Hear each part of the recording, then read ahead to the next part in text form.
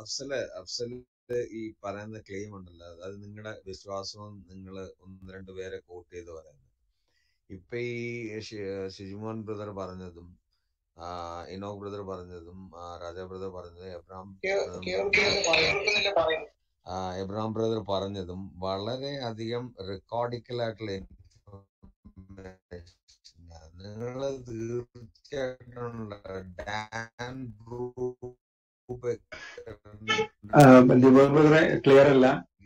Break ചെയ്തിട്ടാ കേൾക്കുന്നത് clear അല്ല. ആ ഇപ്പൊ കേൾക്കാം ഇപ്പൊ കേൾക്കാം.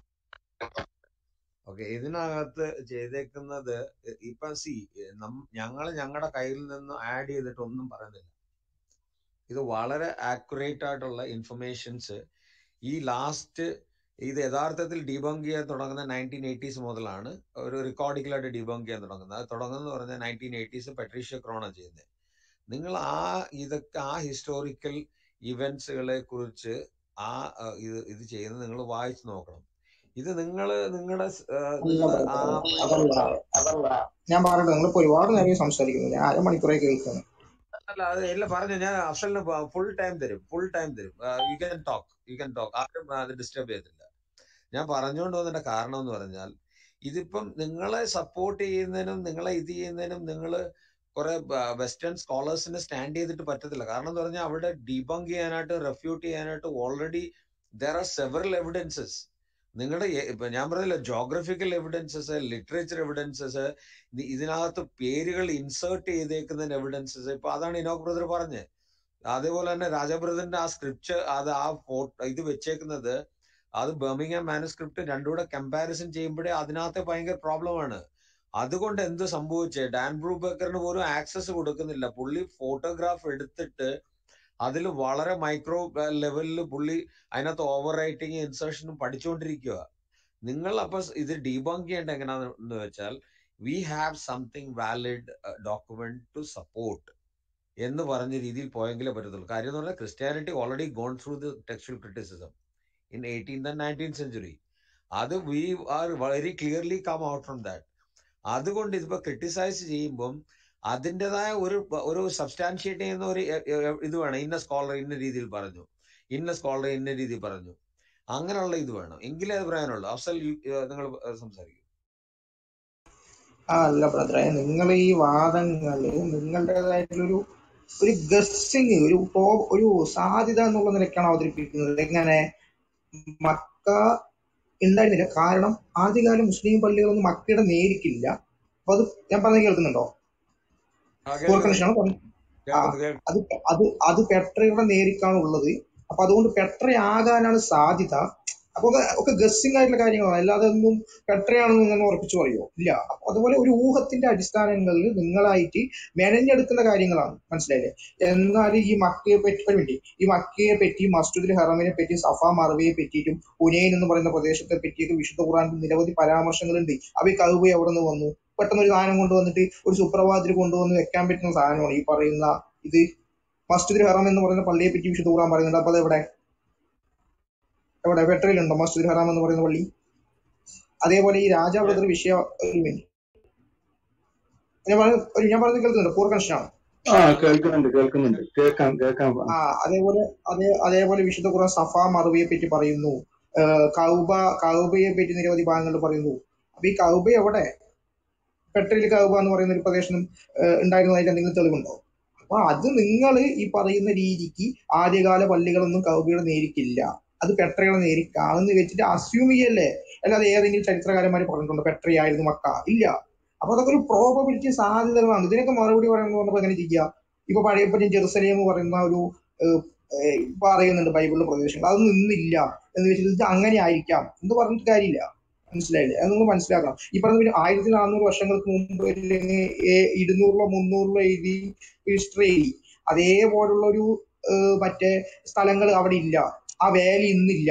ഇതൊക്കെ അത് വാദമാണ്. ആയിരം വർഷത്തിന് ശേഷം ഈ പറയുന്ന ഒരു രാജ്യം പുരോഗമിക്കില്ലേ? അവിടെ മാറ്റങ്ങൾ വരില്ലേ? ഇത് ഇത് ഇന്നേ പോലെ അവിടെ ഇല്ല എന്ന് പറഞ്ഞിട്ട് അതുകൊണ്ട് അത് ഹിസ്റ്റോറിക്കലി പോകണില്ല എന്നൊക്കെ എങ്ങനെ പറയുക ഇപ്പൊ നമ്മൾ ഇന്ത്യന്റെ ചരിത്രം പഠിക്കുന്ന സമയത്ത് ഈ ആയിരത്തി എഴുന്നൂറിലും എണ്ണൂറിലൊക്കെ ഇന്ത്യയിലെ ഓരോ സ്ഥലങ്ങളെ പറ്റി കേരള ചരിത്രം പഠിക്കുക.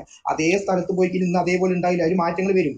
അതൊരു സ്വാഭാവികം നമുക്ക് സിമ്പിൾ ലോജിക്കലി മനസ്സിലാക്കേണ്ട കാര്യമല്ലേ പിന്നെ നിങ്ങൾ മനസ്സിലാക്കേണ്ട കാര്യം ഈ പറയുന്ന ഏണസ്റ്റ് റനാൻ എന്ന് പറയുന്ന ഒരു ഫ്രഞ്ച് എഴുത്തുകാരനുണ്ട് ഹിസ്റ്റോറിസിറ്റി ഓഫ് ജീസസ് ചോദ്യം ചെയ്തിട്ട് ഈ പറയുന്ന രീതിക്ക് പ്രമുഖനായ വ്യക്തിയാണ്. അദ്ദേഹം ഇസ്ലാമിനെ വിമർശിക്കാൻ വരുന്ന സമയത്ത് തന്നെ ഇസ്ലാം ചരിത്രത്തിന്റെ പൂർണ വെളിച്ചത്തിൽ ജീവിച്ചിട്ടുള്ള മതമാണ് അദ്ദേഹം. മുഹമ്മദ് നബിയുടെ ഹിസ്റ്റോറിസിറ്റി അംഗീകരിച്ചുകൊണ്ടാണ് ഇസ്ലാമിനെ വിമർശിച്ചത്. അരിയാനസ്റ്റ് റനാൻ പിന്നെ Robert G ഹോയിലിന്റെ Islam Islam seeing other saw it എന്ന് പറയുന്ന ഒരു പുസ്തകമുണ്ട്. റോബോട്ട് ജി ഹോയിലിന്റെ ഒരു മുസ്ലിം അല്ല. അതിൽ ഏകദേശം ഇരുന്നൂറോളം നോൺ മുസ്ലിം ഡോക്യുമെന്ററികൾ അദ്ദേഹം എടുത്ത് ഉദ്ധരിക്കുന്നുണ്ട്. എണ്ണൂറോ ആയിരോ പേജുള്ള പുസ്തകമാണ്. ഡോക്ടർ ഓഫ് ജാക്കോബ് ഡോക്ടർ അതുപോലെ ക്രിസ്ത്യൻ ഡോക്യുമെന്ററി അദ്ദേഹം ഉദ്ധരിക്കുന്ന. നിങ്ങളെ പുസ്തകം വായിച്ചിട്ടുണ്ട്? റോബോട്ട് ഇസ്ലാം ഹോയിലന്റെ അഫ്സൽ ഇസ്ലാമിക് അതർ ഇപ്പൊ കേൾക്കുന്നുണ്ടോ? ആ ഒന്നും കൂടി റോബോട്ട് ജി ഹോയ്ലൻഡിനെ പറ്റിയിട്ടാണ് അദ്ദേഹം പറയുന്നത്. അഫ്സലെ ഹോയിലൻഡിനെ കോട്ട് ചെയ്താൽ ആകെ പ്രശ്നമാവും കാരണം അദ്ദേഹത്തിന്റെ ഞാൻ ഇവിടെ കോട്ട് ചെയ്ത് കഴിഞ്ഞാൽ ആകെ പ്രശ്നമാവും ഓക്കെ ഇരുന്നൂറോളം ഡോക്യുമെന്റുകൾ നോൺ മുസ്ലിം സോഴ്സസിൽ നിന്ന് ഉദ്ധരിക്കുന്നത് ഇരുന്നൂറോളം document doctor of Jacobi Jacobi എന്ന് പറഞ്ഞിട്ടും അതേപോലെ അതിലൊക്കെ ഈ പ്രവാചകനെ പറ്റി പറയുന്നുണ്ട് ക്രിസ്ത്യൻ ക്രിസ്ത്യൻ യഹൂദ ഡോക്യുമെന്റ് ആണ് അത് അങ്ങനെ പുസ്തകം വായിച്ചിട്ടുണ്ടോ അല്ല ആ പുസ്തകം വായിച്ചിട്ട് ആ പുസ്തകം എടുക്കണോ അഫ്സലെ അത് അതല്ല റോബർട്ട് ഹോലൻഡിന്റെ എടുക്കാതെ. അഫ്സലെ ഇതിനകത്ത് നിങ്ങൾക്ക് വരുന്ന ഏറ്റവും വലിയ പരാജയം എന്തോന്നറിയോ? ഇസ്ലാമിന്റെ ഏറ്റവും വലിയ പരാജയം എന്ന് പറയുന്നത് ഞാൻ ഞാൻ രണ്ടു മൂന്ന് പ്രാവശ്യം അത് റിപ്പീറ്റ് ചെയ്തു. ഇപ്പൊ അഫ്സൽ ഇന്നടുത്ത് താമസിച്ചിരുന്നു എന്ന് അഫ്സൽ ക്ലെയിം ചെയ്യുന്നു. അത് ഞാൻ എങ്ങനെ കണ്ടുപിടിക്കും? രാജബ്രദർ എങ്ങനെ കണ്ടുപിടിക്കും? We will check the background അവിടെ ആ സമയത്ത് കേൾക്കുന്നില്ല.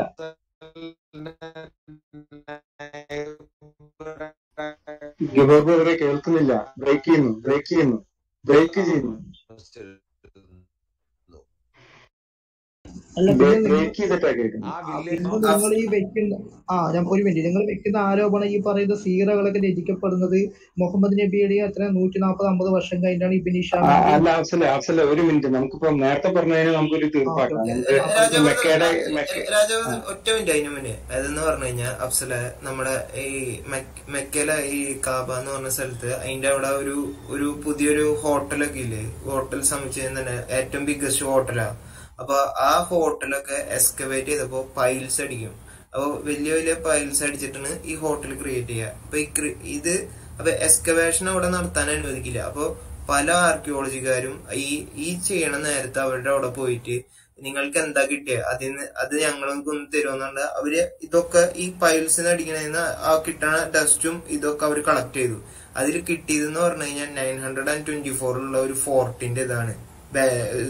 ഈ ആർട്ടിഫിക്സും അങ്ങനത്തെ കാര്യങ്ങളാണ് ഇവിടുന്ന് കിട്ടിയത്. ബ്രിക്സും അങ്ങനത്തെ കാര്യങ്ങൾ. അപ്പോ ഈ പെർട്ടിക്കുലർ സൈറ്റിൽ ഹിസ്റ്ററി ഹിസ്റ്റോറിസിറ്റി ഇല്ല എന്ന് പറയണത് ഞങ്ങളാരും അല്ല ഇത് പറയണത്. ഇത് അവിടെ അവർ ഇങ്ങനെ ഓരോ കാര്യങ്ങൾ ചെയ്യുമ്പോൾ നമുക്ക് അതിന് ഡീറ്റെയിൽസ് കിട്ടും. അപ്പോ അതിൽ നിന്നാണ് ഇവിടെയുള്ള ക്രിറ്റിക്സ് അത് എക്സാമിൻ ചെയ്തിട്ടാണ് നമുക്ക് ഇത് അനലൈസ് ചെയ്ത് പ്രോപ്പർ ആയിട്ടാണ് ഇത് പ്രസന്റ് ചെയ്യണത്. സെക്കൻഡ് തിങ് എന്ന് പറഞ്ഞു കഴിഞ്ഞാൽ ജെറുസലേമിനെ കുറിച്ച്. ജെറുസലേമിന്റെ അടിയിൽ ഒരു സിറ്റി അടിയിലുണ്ടെന്നും അതിന്റെ അടിയിൽ ഒരു സിറ്റി ഉണ്ടെന്നും ഉള്ളത് ഇപ്പൊ ഓൾറെഡി ആർക്കിയോളജിക്കലി കണ്ടുപിടിച്ചിട്ടുള്ളതാണ് അപ്പൊ ജെറുസലേമിനെ ഒന്നും ക്രിട്ടിസൈസ് ചെയ്യാൻ ഇവിടെയുള്ള ഒരു ആർക്കിയോളജിസ്റ്റും അങ്ങനെ ഒരു ക്രിട്ടിസൈസ് ഇല്ല ഇല്ല എന്ന് പറയില്ല. കാരണം അതിന്റെ അടിയിൽ രണ്ട് മൂന്ന് സിറ്റികൾ ഉണ്ടെന്ന് പറയുന്നുണ്ട് പല ആർക്കിയോളജിക്കാരും കാരണം അത്രയും ഹിസ്റ്റോറിസിറ്റി ഉള്ള ഒരു സ്പേ ഒരു ഒരു പെർട്ടിക്കുലർ അർബൻ സ്പേസ് ആണ് അത്. ഇനി രാജ ആഡ് ചെയ്തോ ഓക്കെ ഓക്കെ. ഞാൻ ഈ കാബ അതായത് കറുത്ത കല്ലിന്റെ ഹിസ്റ്ററി ഞാനൊന്ന് പറയാം. ഞാൻ വായിക്കാം. ഞാനത് മുന്നേ എഴുതി വെച്ചിട്ടുള്ളതാണ്.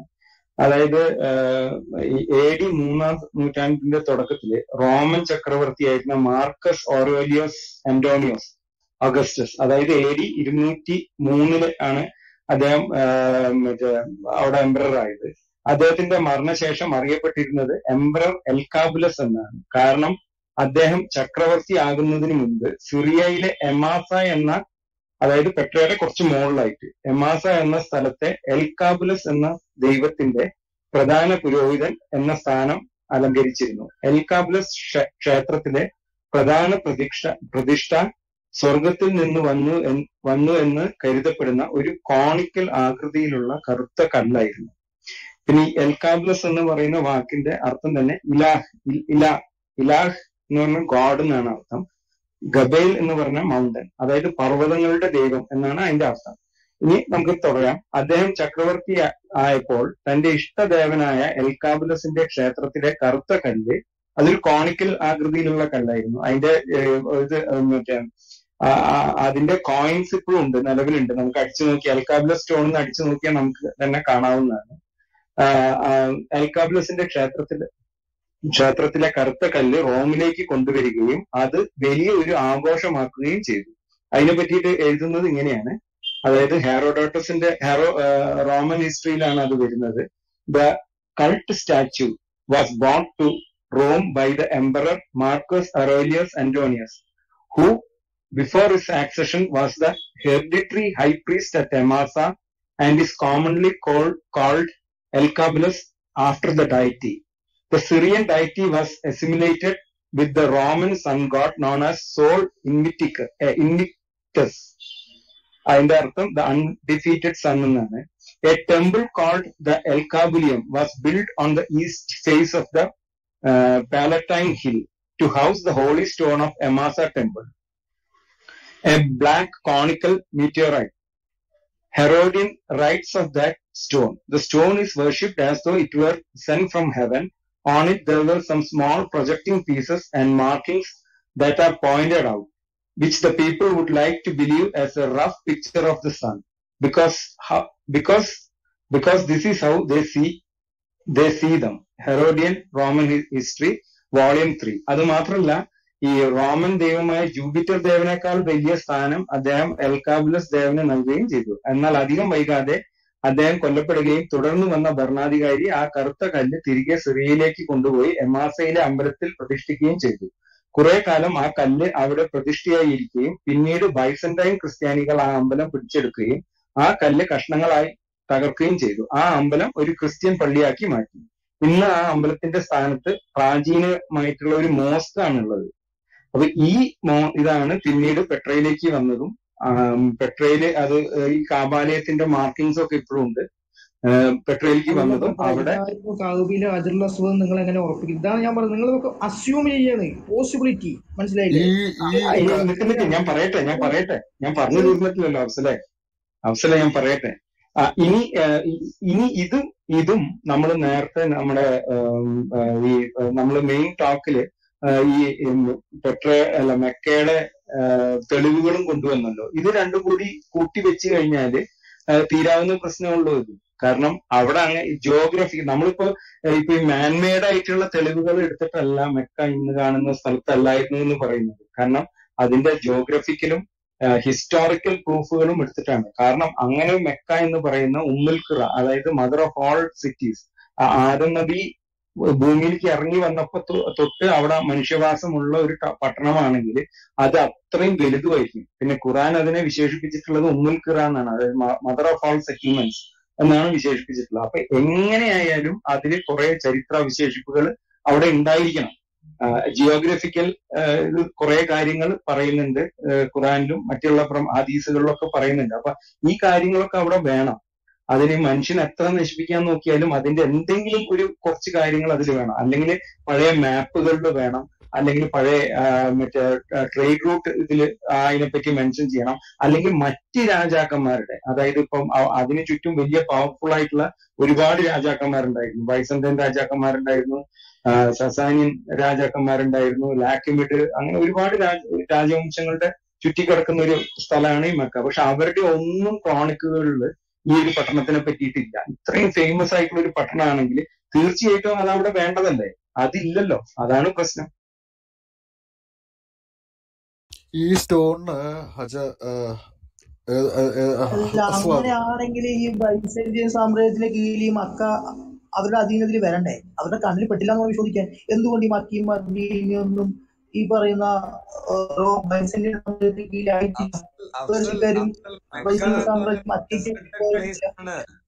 ഒന്നുമില്ല മെക്ക അവിടെ എന്ന് പറഞ്ഞാൽ മരുഭൂമിയാണ്. അവിടെ ആർക്കും ഒന്നുമില്ല.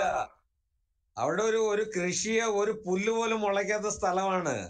അതുകൊണ്ടാണ് ഞാൻ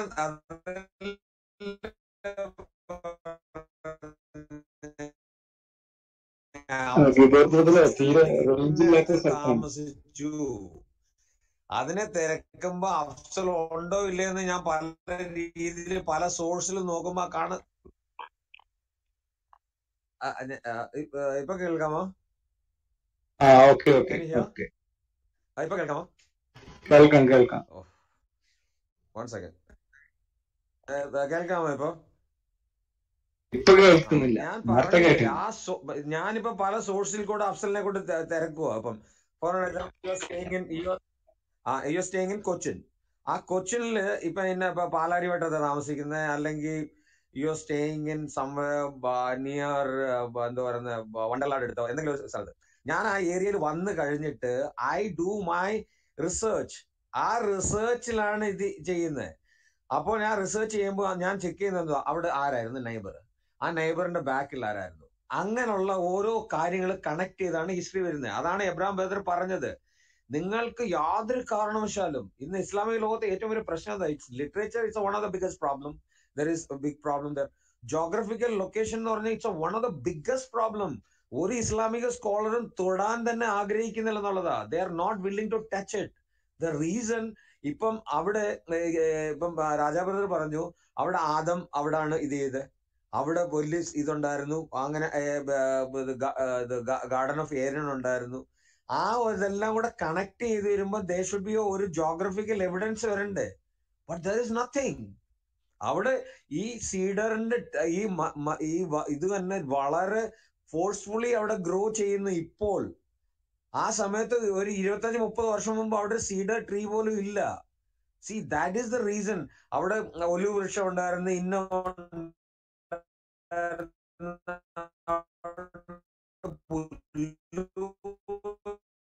ബ്രദറെ കേൾക്കുന്നില്ല.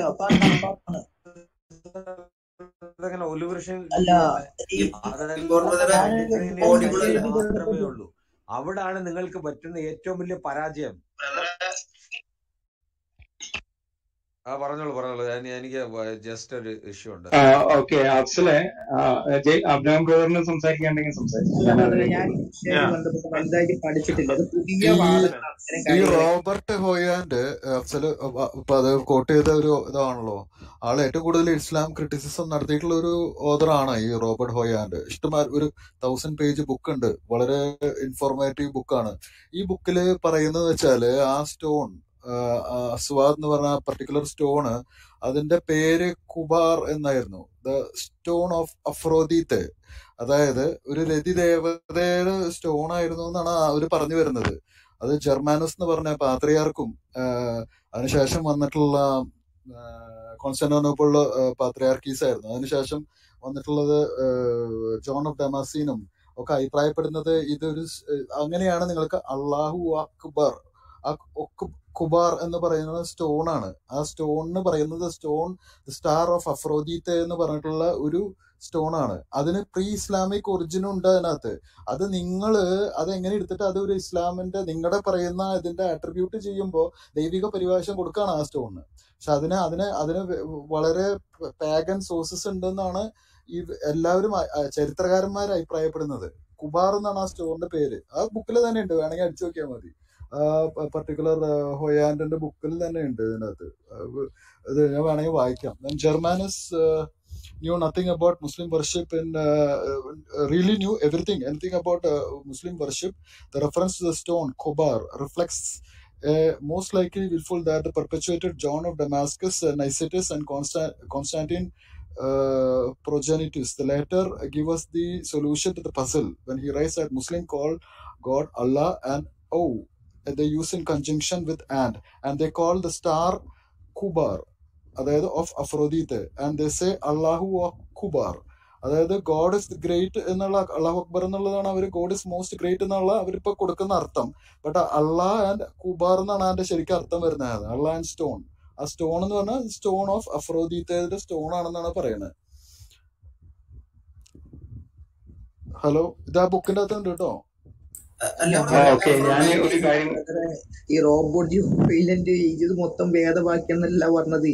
അദ്ദേഹം മുഹമ്മദിനെ മുഹമ്മദ് നബിയുടെ ഹിസ്റ്റോറിസിറ്റിയെ മറ്റേ ചെരി വെച്ചിരിക്കുകയും ആദ്യകാലത്ത് ഈ അറബ് പൈസന്റെ യുദ്ധത്തെ പറ്റി പ്രതിപാദിച്ചിട്ടുണ്ട്. അവിടെ അറബിയിൽ അറബി അറിയാം അഫ്സലെ അഫ്സലെ ഞാൻ ഈ ഹോയിലാൻഡ് എഴുതിയിട്ടുള്ള വേറൊരു കാര്യം വായിച്ചു തരാം. അല്ല അല്ല ഞാൻ നിങ്ങളിപ്പോ യേശുവിന്റെ ഹിസ്റ്റോറിസിറ്റി തെളിയിക്കാൻ ജോസഫസിന്റെ ചാസിറ്റസിന്റെ ഒക്കെ ഓരോ ഹിസ്റ്റോറിയൻസിന്റെ റെക്കോർഡുകൾ എടുക്കും. അതിനർത്ഥം അദ്ദേഹം യേശുവിനെ പറ്റി പറയുന്നത് നിങ്ങൾ അംഗീകരിക്കുന്നതാണോ? അങ്ങനെ അംഗീകരിച്ചു കഴിഞ്ഞാൽ ഒരിക്കലും നിങ്ങൾക്ക് വിശ്വസിക്കാൻ കഴിയില്ല. അത്രയും മോശമായിട്ട് എഴുതി വെച്ചിട്ടുള്ളത്. അപ്പൊ അങ്ങനെയല്ല. അദ്ദേഹം ഹിസ്റ്റോറിയാണ് ഹിസ്റ്റോറിസിറ്റി മുഹമ്മദിന്റെ ഹിസ്റ്റോറിസിറ്റി അല്ല ഞാൻ ഇവിടെ സ്ട്രേഞ്ച് സ്ട്രെസ് ചെയ്യണേ. ഞാൻ ആ സ്റ്റോണിന്റെ ഹിസ്റ്റോറിസിറ്റി ആണ് ആ സ്റ്റോണിന്റെ നിങ്ങൾ കൊടുക്കുന്ന അത് സ്വർഗത്തിൽ നിന്ന് വീണു എന്ന് പറയുന്ന ഒരു ദൈവിക പരിവേഷം കൊടുക്കുന്നില്ലേ? അതല്ല എന്നാ ഞാൻ പറഞ്ഞത്. അത് ഇതിന് പേഗൻ ഒറിജിൻസ് ആണ് ഈ സ്റ്റോണിന് ചുറ്റിപ്പറ്റി ഉള്ളത് ഇതിന് stone of Aphrodite star of Aphrodite എന്നൊക്കെയാണ് ഇതിനെ അറിയപ്പെട്ടിരുന്നത് ഈ സ്റ്റോൺ അല്ല പക്ഷെ ബ്രദറെ കഅബയിൽ ഒരു കാലത്തും ഈ പറയുന്ന സ്റ്റോൺ ഒരു വിഗ്രഹമായിട്ട് ആരാധിക്കപ്പെട്ടിട്ടില്ല. അങ്ങനെയാണെങ്കിൽ ഈ മുഹമ്മദ് ഏകദൈവ ആരാധന പറയുന്നിട്ട് ഇവൻ ഞങ്ങൾ ആരാധിച്ച ഈ ഒരു വിഗ്രഹം മാത്രം മറ്റേ ഒരു പ്രാതിനിധ്യം ഉണ്ടെന്ന് പറഞ്ഞാൽ അവർ അംഗീകരിക്കില്ല. ഒരു കാലഘട്ടത്തിൽ ഹജറുൽ അസ്വദ് എന്ന് പറയുന്നത് ആ കഅബയിലെ മൂലയിലുള്ള ഒരു വിഗ്രഹമായിട്ട് ആരാധിക്കപ്പെട്ടില്ല വേറെ മുന്നൂറ്റി അറുപത് വിഗ്രഹങ്ങളുടെ കൂടെ. മനസ്സിലായില്ലേ? അങ്ങനെയാണെങ്കിൽ അതിന് ശ്രദ്ധിച്ചു. അവർ പറയുന്നുണ്ട്. അവർ പറയുന്നുണ്ട് നിങ്ങൾ പല ദൈവങ്ങളെ ഒരു ദൈവം ആക്കുവാണോ എന്ന് അവർ ചോദിക്കുന്നുണ്ട്. ഖുറാനകത്ത് തന്നെ ഉണ്ട്. നിങ്ങൾ എല്ലാ ദൈവങ്ങളുടെ ഒരു ഒരു ഏക ദൈവം ആക്കുവാണോ എന്ന്. അവർ ചോദിക്കുന്നുണ്ട് അവിടുത്തെ മനുഷ്യരൊന്നും. ഞങ്ങളാരും ഇവിടെ മറ്റേ ഈ ഹോയിലാൻഡ് പറയുന്നത് വേദവാക്യാന്ന് പറയുന്നില്ല. പക്ഷെ മറ്റേ ഹോയിലൻഡിനെ അഫ്സൽ കോട്ട് ചെയ്തുകൊണ്ട് മാത്രമാണ് ഞങ്ങൾ ഹോയിലൻഡിനെ ഇവിടെ കൊണ്ടുവന്നത്. കാരണം ഹോയിലൻഡിന്റെ കാര്യങ്ങൾ വായിക്കുകയാണെങ്കിൽ ഞാനൊരു ഒരു ഭാഗം ഞാൻ വായിച്ചു തരാം. ഹോയിലൻഡിന്റെ തന്നെയാണ്. Robert Hoyland. The first mention of Mecca was in seven forty one in apocalypse of pseudo Methodius Byzantine arabica എന്ന് ഹോയ്ലൻഡ് തന്നെയാണ് എഴുതി വെച്ചിട്ടുള്ളത്. അതായത് മെക്ക പട്ടണത്തിനെ പറ്റിയിട്ടുള്ള ഫസ്റ്റ് റെഫറൻസ് വരുന്നത് എ ഡി എഴുന്നൂറ്റി നാൽപ്പത്തിനാലിലാണ് എന്ന് പറയുന്നത്. മാത്രല്ല അദ്ദേഹം തന്നെ പറയുന്ന മറ്റൊരു കാര്യമാണ്. അതായത് മറ്റേ ഈ ഏഴാം നൂറ്റാണ്ടുകളിലെ മാപ്പുകളിൽ അല്ലെങ്കിൽ ട്രേഡ് റൂട്ട് നമ്മൾ നോക്കുകയാണെങ്കിൽ അതിൽ യാത്ര അതായത് മദീനയെ പറ്റി പറയുന്നുണ്ട് തായിഫിനെ പറ്റി പറയുന്നുണ്ട് പിന്നെ ഈവൻ എന്താണ് ഖൈബർ പിന്നെ മറ്റൊരു യുദ്ധം നടന്ന സ്ഥലമില്ല എന്താണ് തബൂക്ക്. ആ തബൂക്കിനെ പറ്റി വരെ പറയുന്നുണ്ട് പക്ഷെ മെക്കയില്ല. എന്തുകൊണ്ട് ഇത്രയും പ്രാധാന്യമുള്ള ഒരു ഒരു പട്ടണത്തിന് അതിന്റെ ചുറ്റുമുള്ള ഈവൻ ചെറു ഗ്രാമങ്ങളെ പോലും പറ്റിയിട്ട് നമുക്ക് ഹിസ്റ്ററി നോക്കുകയാണെങ്കിൽ അതിനെ പറ്റിയിട്ടൊക്കെ നമുക്ക് കാണാൻ പറ്റും. തബൂക്ക് എന്നൊക്കെ പറയുന്നത് എനിക്ക് തോന്നുന്നു ചെറിയ ഗ്രാമങ്ങളായിരിക്കും. കൈബർ യാത്രയ്ക്ക് ശരിയാണ് മദീന ശരിയാണ്. അന്നും കുറച്ച് വലിയ പട്ടണമായിരിക്കാം. പക്ഷെ ഈ ബാക്കിയുള്ള ഈ ചെറിയ ചെറിയ സ്ഥലങ്ങളെ പറ്റി പോലും ഹിസ്റ്ററിയിൽ അല്ലെങ്കിൽ മാപ്പുകളിൽ നമുക്ക് കാണാൻ കഴിയുമ്പോൾ ഈ മാപ്പുകളിലൊന്നും മെക്ക ഇല്ല.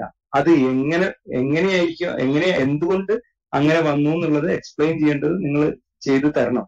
അല്ലെങ്കിൽ ഇത് തെളിയിക്കാൻ നിങ്ങൾക്ക് ഒരിക്കലും പറ്റില്ല. അതെ നിങ്ങൾ ഈ വാദം ഈ അടുത്ത കാലത്ത് വന്ന വാദമല്ല? ഇത് ഖുറാനിസ്റ്റുകൾ ഈ വാദം വെക്കുന്നത് നമ്മൾ കണ്ടിട്ടുണ്ട്. പക്ഷെ ഇതിനെപ്പറ്റി ഒന്നുകൂടി പഠിക്കേണ്ടതുണ്ട്. ഇത് കൃത്യമായിട്ട് എന്താണ് അതിന്റെ കാര്യം?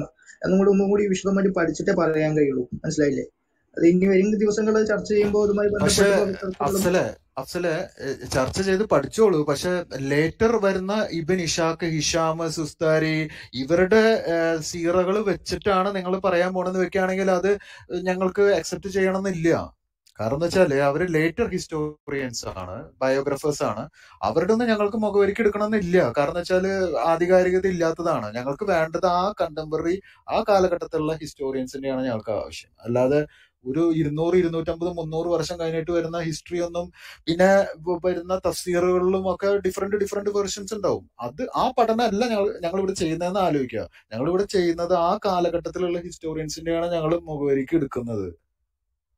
അല്ല ഈ ബിനിഷാഖിന്റെ സീറുകളൊക്കെ രചിക്കപ്പെടുന്നത് എഴുന്നൂറ്റി അറുപതിലൊക്കെയാണ് അതായത് ഒരു സ്വാഭാവികമായിട്ടും ഒരു ടൈം വേണ്ടി വരും. ഇപ്പൊ മുഹമ്മദ് നബി അദ്ദേഹത്തിന് സഹാബാക്കൾ. സഹാബാക്കൾ അറുന്നൂറ്റി എൺപതും തൊണ്ണൂറും എഴുന്നൂറും പേര് ജീവിച്ചിരുന്ന ആളുകളുണ്ട്. അപ്പോ അതിനുശേഷം താബികൾ എഴുന്നൂറ്റി അമ്പത് പേര് അറുപത് പേര് ജീവിച്ചിരുന്ന ആളുകളുണ്ട്. അപ്പൊ രണ്ട് തലമുറയിലൊക്കെ ഓറൽ ട്രഡീഷൻ പോസിബിൾ ആണ്.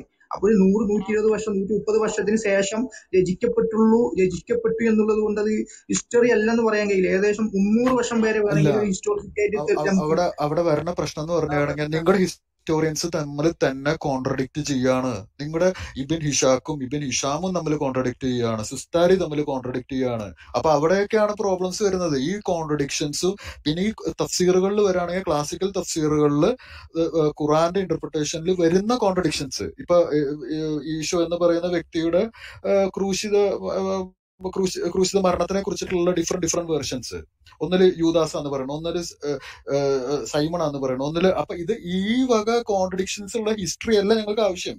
ഞങ്ങൾക്ക് ഖുറാന്റെ എക്സ്ട്രാ പുറത്ത് ഉള്ള എക്സ്ട്രാ ഖുറാൻ പ്രോസസ്സിലുള്ള ആ കാലഘട്ടത്തിൽ ഉള്ള ഹിസ്റ്ററിയാണ് ഞങ്ങൾക്ക് അക്സെപ്റ്റബിൾ ആവുള്ളൂ. അല്ലാതെ പിന്നീട് ഉണ്ടാക്കിയ ഹിസ്റ്ററി എങ്ങനെ ഞങ്ങൾക്ക് അക്സെപ്റ്റബിൾ ആവും? അത് മാച്ചിങ് അല്ലെങ്കിൽ തീരെ മാച്ചിങ് തമ്മിൽ തന്നെ മാച്ചിങ് അല്ലെങ്കിൽ ഞങ്ങൾ ഏതെടുക്കും? പറയുന്നത് പോലെ അങ്ങനെ ഈ പറയുന്ന അറുന്നൂറ്റി മുപ്പത്തിരണ്ട് തൊട്ടിട്ട് ഈ എഴുന്നൂറ് എഴുന്നൂറ്റി ഇരുപത് എന്ന് പറയുന്ന പോലെ ഈ ഹിസ്റ്ററി എഴുതുന്നതിനൊക്കെ ഒരു പരിമിതിയുണ്ട്. പേപ്പറുകളുടെ ലഭ്യതയ്ക്ക് പരിമിതിയുണ്ട്. അതാ ഞാൻ പറഞ്ഞത് ഒന്ന് രണ്ട് തലമുറ എന്ന് പറയുന്നത് ഓവർലായി പോകും. പിന്നെ ഇവർ പറഞ്ഞേ ഈ ബിനീഷാക്ക് ബിനി പറയുന്നതൊക്കെ എടുത്തിട്ടുള്ളത് അദ്ദേഹം ഈ പറയുന്ന ആദ്യകാല പ്രവാചകങ്ങൾ നേരത്തെ ഒരു സഹാബിയുടെ പേര് പറഞ്ഞല്ലോ സുബൈർ ഔ- സുബൈർ ബിൻ അവാം അദ്ദേഹം പ്രസിദ്ധ സഹാബിയാണ്. അദ്ദേഹത്തിന്റെ മകനാണ് ഉർവാ ബിൻ സുബൈർ. അതുപോലെ ഇമാം സുരി ഇതേപോലെ ജീവിച്ചിരുന്ന താബികളിൽ നിന്നൊക്കെയാണ് അദ്ദേഹം എടുത്തിട്ടുള്ളത്. ഇത് ശൂന്യതയിൽ നിന്ന് എങ്ങനെയാണ് ഒരു പുസ്തകം ഒരു ആയിരം രണ്ടായിരം പേജുള്ള പുസ്തകമൊക്കെ ഉണ്ടാക്കുക? ഈ ഇമാം തബരിയുടെ മുപ്പത്തൊമ്പത് വോളിയുള്ള പുസ്തകം ഉള്ളത് ഈ മുപ്പത്തൊമ്പത് വോളിയൊക്കെ ഒരു ഇല്ലാത്തൊരു കഥാപാത്രത്തിന്റെ പേരിൽ ഇത് കൂട്ടുക എന്നൊന്നും പറയുന്നത് പോസിബിൾ ആയിട്ടുള്ള കാര്യമല്ല. അത് നിങ്ങൾ മനസ്സിലാക്കണം. അപ്പോ ഏകദേശം ഒരു ഒരു സമയം പിടിക്കും. ഇത് മൊത്തത്തിൽ ഒരു എഴുതി ചിട്ടപ്പെടുത്തുന്ന പേപ്പറുകളുടെ അവൈലബിലിറ്റി ഇതൊക്കെ വരെ ഒരു സമയം പിടിക്കില്ലേ? അല്ലാതെ മുഹമ്മദ് നബി മരിച്ചു. അപ്പൊ തന്നെ ഹിസ്റ്ററി എന്ന് പറയുന്നത് മൗഢ്യാണെന്ന് എനിക്ക് പറയാനുള്ളൂ. അതുപോലെ നിന്ന് ഇത്രയും ഒരു ദീർഘമായ ചാപ്റ്ററുകൾ ശൂന്യതയിൽ നിന്ന് എഴുതിയെടുക്കുക എന്നുള്ളത് അത്ര പോസിബിൾ ആയിട്ടുള്ള കാര്യമില്ല. അത്രയ്ക്ക് ഒരു ഹിസ്റ്ററി ശൂന്യതയിൽ നിന്ന് ഇത്രയും കഥകൾ ഇത്രയും പേരുകളൊക്കെ എഴുതിയെടുക്കാൻ ഈ അറബികൾക്ക് കഴിയുന്നത് നിങ്ങൾക്ക് എങ്ങനെയാണത്? എനിക്കൊരിക്കലും ഉൾക്കൊള്ളാൻ കഴിയില്ല. അതായത് ഞങ്ങൾ ഇവിടെ വെക്കുന്ന വാദം പോയാ? ഹലോ അഫ്സല ഞങ്ങൾ ഇവിടെ വെക്കുന്ന വാദം എന്താന്ന് പറയുകയാണെങ്കിൽ ഈ പറയുന്ന ലേറ്റ് ഉമയ്യദ് കാലിഫേറ്റിന്റെ കാലഘട്ടത്തിലും ഏർലി അബ്ബാസിദ് ഏർലി അല്ല ഒരു മിഡ് അബ്ബാസിദ് കാലഘട്ട കാലഘട്ട കാലഘട്ടത്തിലാണ് നിങ്ങളുടെ എല്ലാ വക നറേറ്റീവ്സ് രൂപപ്പെട്ടിട്ടുള്ളത്.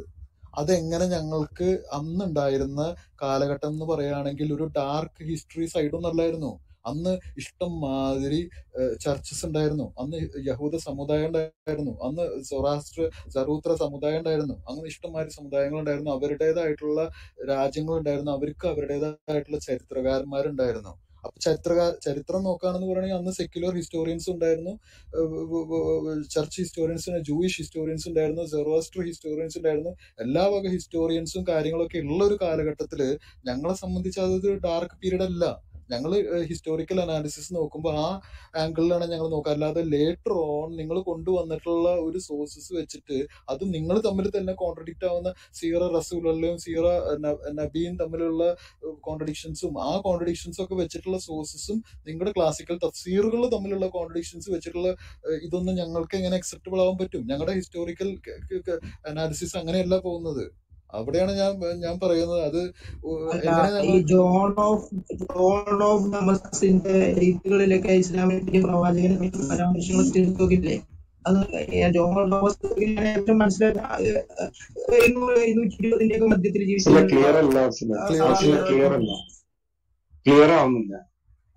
അല്ല ജോൺ ഓഫ് ഡമസ്കസ് ഇല്ലേ ജോൺ ആ അദ്ദേഹം ഏകദേശം ജീവിച്ചിരുന്നത് എത്ര? അറുന്നൂറ്റി എഴുപതിന് എഴുന്നൂറ്റി ഇരുപതിനൊക്കെ ഇടയിലല്ലേ ഏകദേശം? അതെ seven seven hundred and something ട്വന്റീസിൽ ആ. അദ്ദേഹത്തിന്റെ റൈറ്റിംഗ്സിലേക്ക് ഇസ്ലാമിനെ പറ്റിയുള്ള പരാമർശങ്ങളില്ലേ? ഞാൻ പറയണത് ഇസ്ലാമിനെ കുറിച്ചുള്ള പരാമർശം ഉണ്ട് പക്ഷെ നിങ്ങൾ നിങ്ങളുടെ നെറേറ്റീവ് പ്രകാരമല്ല ആൾ ഇപ്പൊ എക്സാമ്പിൾ ഞാൻ പറഞ്ഞുതരാം. ആൾ ഈ ബഹീറ എന്ന് പറഞ്ഞ ഒരു ക്യാരക്ടറിനെ കുറിച്ചിട്ട് ആളൊരു നെറേറ്റീവ് കൊടുത്തിട്ടുണ്ട്.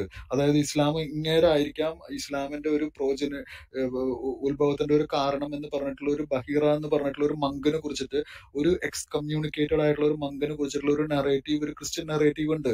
അതിനുശേഷം നിങ്ങളുടെ ഹിസ്റ്റോറിയൻസ് ഇബിൻ ഇഷാമോ അല്ലെങ്കിൽ ഇബിൻ ഇ- ഇവരൊക്കെ വന്നിട്ട് ഒരു ഒരു നെറേറ്റീവ് കൊടുക്കുകയാണെങ്കിൽ ഞങ്ങൾ ഏതെടുക്കുക ലേറ്റർ നെറേറ്റീവ് ആണ് എടുക്കുക ഏർലിയർ നെറേറ്റീവ് ആണ് എടുക്കുക. ബഹീറിനെ കുറിച്ചിട്ടാണ് മാത്രമാണ് ഞാൻ ഇപ്പൊ പറയുന്നത് അതേപോലെ തന്നെ നിങ്ങളുടെ ഞങ്ങളുടെ ഹിസ്റ്റോറിയൻസ് നിങ്ങളെ നിങ്ങളെ വിളി നിങ്ങൾ അറിയപ്പെട്ടിരുന്നത് മഹഗറായെ തയ്യായെ അതായത് the the Hagarenes of Arab Arab Hagarenes എന്നുള്ള പേരിലാണ് നിങ്ങൾ മുസ്ലിംസ് അറിയപ്പെട്ടിരുന്നത്. പിന്നീടാണ് ഈ മുസ്ലിംസ് എന്നുള്ള മുസ്ലിം എന്നുള്ള പേര് തന്നെ നിങ്ങൾ ആട്രിബ്യൂട്ട് ആവുന്നത് ഞങ്ങൾ ഏതെടുക്കും മനസ്സിലായോ? ഞങ്ങൾ അങ്ങനത്തെ രീതിയിലാണ് ഞങ്ങൾ ഹിസ്റ്റോറിക്കൽ ക്രിറ്റിസിസം ചെയ്യുന്നത്.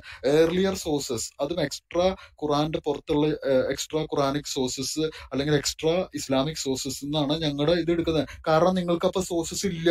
നിങ്ങളുടെ ബയോഗ്രഫീസ് ഇല്ല സോഴ്സസ് ഇല്ല ഹിസ്റ്ററി ഇല്ല ഒന്നും ഇല്ലാതെ പിന്നെ ഞങ്ങൾ എങ്ങനെ നിങ്ങളുടെ സോഴ്സസ് എടുക്കും? ഇരുന്നൂറ് മുന്നൂറ് വർഷം ശേഷം വരുന്ന സോഴ്സസ് എങ്ങനെ ബയോഗ്രഫി അല്ലെങ്കിൽ ഹിസ്റ്റോറിക്കൽ സോഴ്സസ് ഞങ്ങൾ എങ്ങനെ എടുക്കും ആംഗിൾ പിടിയിട്ടിയ ഐഡിയ പിടിയിട്ടിയ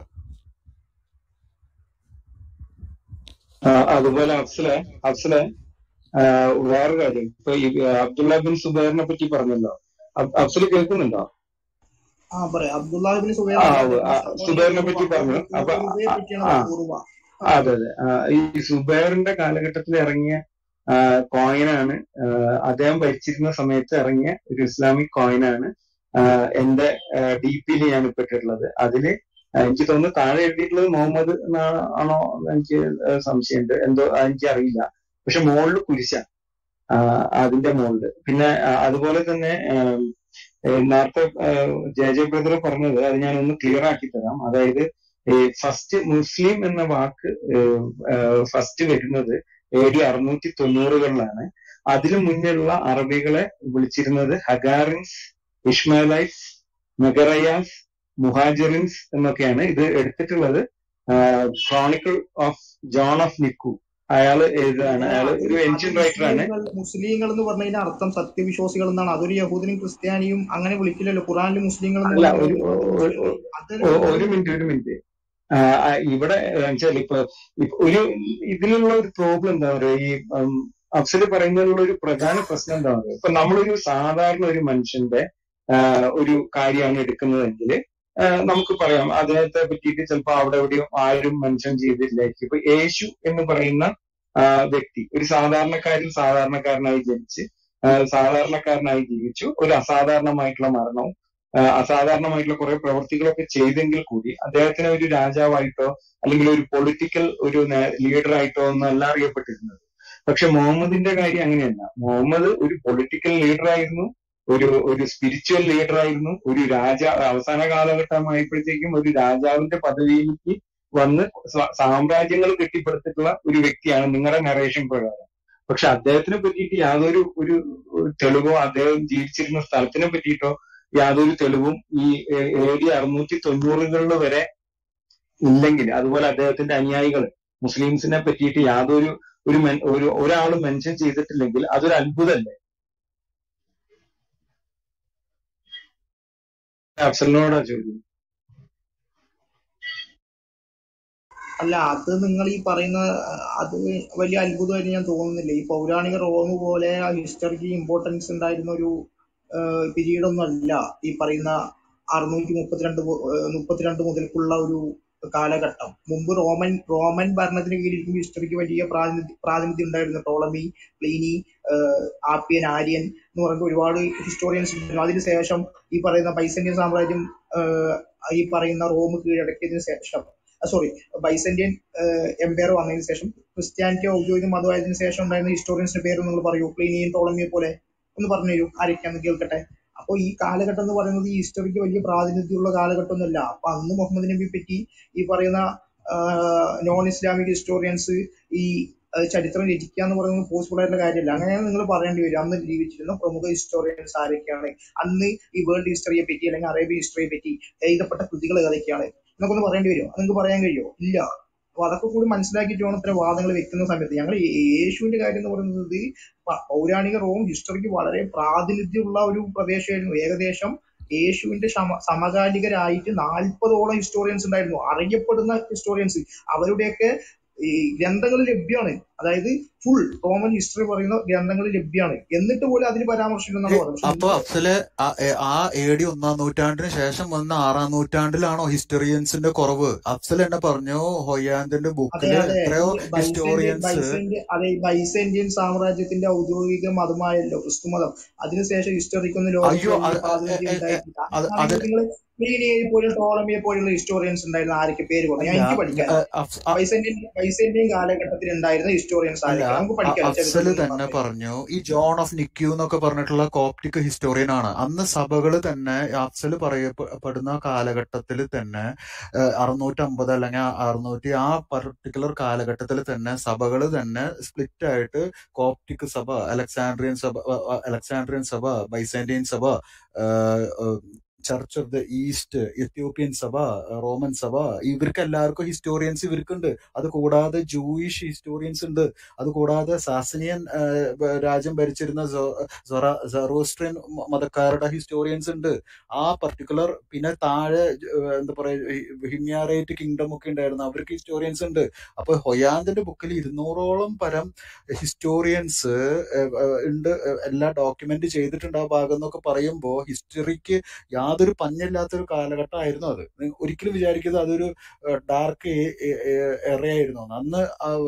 ഒരു ചർച്ചിനെ സംബന്ധിച്ച് നൂറുകണക്കിന് സിനഡുകളും ആറ് പ്രധാനപ്പെട്ട സാർവത്രിക സുനാദോസും കഴിഞ്ഞിട്ടുള്ള ഒരു ടൈമായിരുന്നു. അപ്പൊ ഒരിക്കലും അബ്സലു അങ്ങനെ ഒരു തെറ്റിദ്ധാരണ പാടില്ല. അതൊരു കംപ്ലീറ്റ് ഡെസേർട്ട് ആയിരുന്നു അല്ലെങ്കിൽ കംപ്ലീറ്റ് കാടായിരുന്നു എന്നുള്ള ഒരു തെറ്റിദ്ധാരണ പാടില്ല.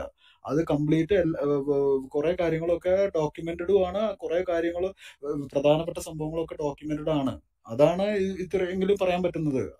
ലേറ്റർ നിങ്ങളുടെ ഹിസ്റ്റോറിയൻസ് ബയോഗ്രഫേഴ്സ് വന്നിട്ട് അത് അതിന്ന് ചെറിയ പിക്കിങ് നടക്കണമെന്നാണ് കണ്ടിട്ടുള്ളത്. ബഹിറയുടെ സ്റ്റോറി പോലെ. ബഹിറയുടെ സ്റ്റോറി ക്രിസ്ത്യൻ ഹിസ്റ്റോറിയൻസ് പറയുന്ന രീതിയിലല്ല നിങ്ങളുടെ ലേറ്റർ ഹിസ്റ്റോറിയൻസ് പറഞ്ഞു വെച്ചിട്ടുള്ളത്. അപ്പൊ അതിലത്തൊക്കെ പിന്നെ എക്സാമ്പിൾ ഞാൻ വേറെ ഒരു എക്സാമ്പിൾ പറഞ്ഞുതരാം. നിങ്ങളുടെ സൂറത്ത് അൽ കാഫിൽ വരുന്ന സെവൻ സ്ലീപ്പേഴ്സിന്റെ കഥകളൊക്കെ. അതൊക്കെ അഞ്ചാം നൂറ്റാണ്ടിൽ വന്നിട്ടുള്ള ഒരു സിറിയക് ലെജൻഡാണ് ജേക്കബ് ഓഫ് സെറൂഗ് എന്ന് പറഞ്ഞിട്ടുള്ള ഒരു എന്താ പറയുക സിറിയൻ ഓർത്തഡോക്സ് സഭയുടെ ഒരു ഒരു ഒരു സെയിന്റ് ആണെന്ന് പറയാം.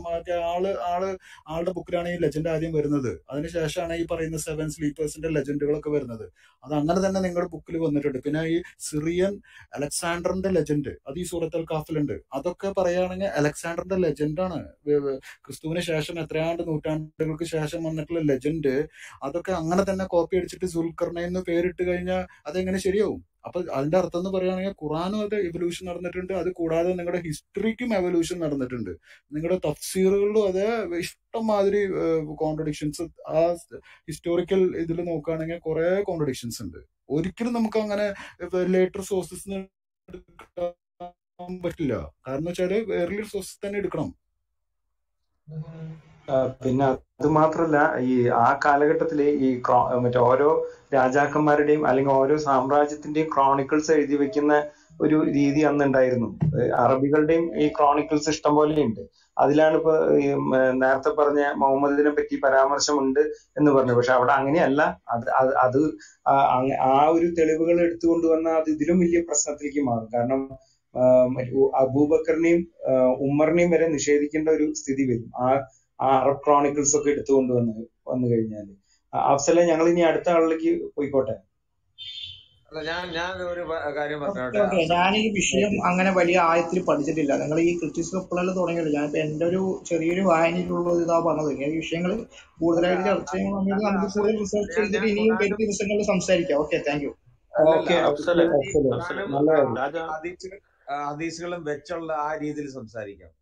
നിങ്ങൾ ഖുറാനിലുള്ളതും നിങ്ങൾ ഹദീസുള്ളതും നിങ്ങൾ ഇസ്ലാമിക സ്കോളേഴ്സും പറയുന്നതെന്ന് പറയുന്നാൽ ഈ സിക്സ് സിക്സ് തേർട്ടി ടു ഈ മുഹമ്മദിന്റെ റെവലേഷൻ കിട്ടിയതിന് ശേഷമാണ് അവിടെ അതുവരെ ജാഹ്ലിയ കാലം എന്ന് പറയുന്നത്. അത് നേരെ തിരിച്ചാണ് സംഭവം.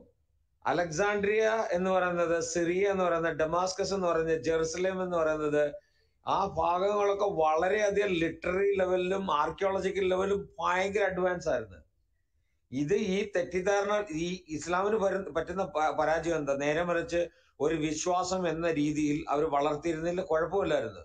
ഇത് മറ്റുള്ളവരെ താറടിക്കുകയും മറ്റുള്ളവരെ ഡീബങ്ക് ചെയ്യും ഡീബങ്ക് അല്ല ഡീബങ്ക് ചെയ്തതിലും കുഴപ്പമില്ല. ഒരു ഒരു ഇന്റലക്ച്വൽ ലെവലാണെങ്കിലും പറയാം.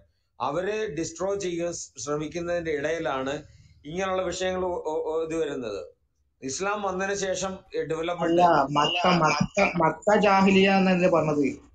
അല്ലാതെ അന്നുണ്ടായിരുന്ന ലോകത്തുള്ള എല്ലാം entire Middle East Egypt Greece Turkey അവിടെ എല്ലാം they are super developed that time അതെ അതൊക്കെ ആ ഒരു കണക്ക് കണക്ക് വെച്ച് നോക്കുമ്പോൾ മുഹമ്മദിന്റെ കാലഘട്ടം മുതലാണ് ഡെവലപ്മെന്റ് എന്ന് പറയുന്നത് എന്തൊരു അട്ടം അവിടെ ഒരു ഒരു മെക്കയിൽ അതാ ഞാൻ ഇവിടെ പറഞ്ഞത് ഇത്ര നേരം പറഞ്ഞത് മെക്കയിൽ അല്ല ഇപ്പൊ ഈ ബ്രദർ പറഞ്ഞ ചരിത്രമൊക്കെ എല്ലാവർക്കും അറിയാം. മുഹമ്മദ് നബിയും പ്രവാചകത്വം അവകാശപ്പെടുന്ന സമയത്ത് ബൈസന്റെയും പേർഷ്യൻ ഈ പറയുന്ന വാർ നടന്ന കാലഘട്ടമായിരുന്നു അന്ന് വലിയ വലിയ അന്ന് ഈ പറയുന്ന ഇതൊക്കെ പണിതിട്ടുണ്ട്. ഏത്?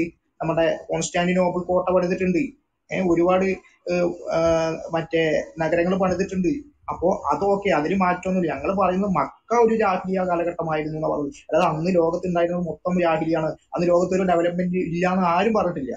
അത് പറഞ്ഞത് ഹിസ്റ്റോറിക്കലി തെറ്റാണ്. നമുക്ക് ആ ചരിത്രം പഠിക്കുമ്പോൾ അറിയാലോ. അന്ന് രണ്ട് മഹാസാമ്രാജ്യങ്ങൾ അന്ന് ലോകത്തുണ്ടായിരുന്നു. അവർ തമ്മിൽ ഈ പറയുന്ന രീതിക്ക് പ്രദേശങ്ങൾ പിടിച്ചെടുക്കുന്നതിന് വേണ്ടി യുദ്ധങ്ങൾ നടന്നിട്ടുണ്ട്.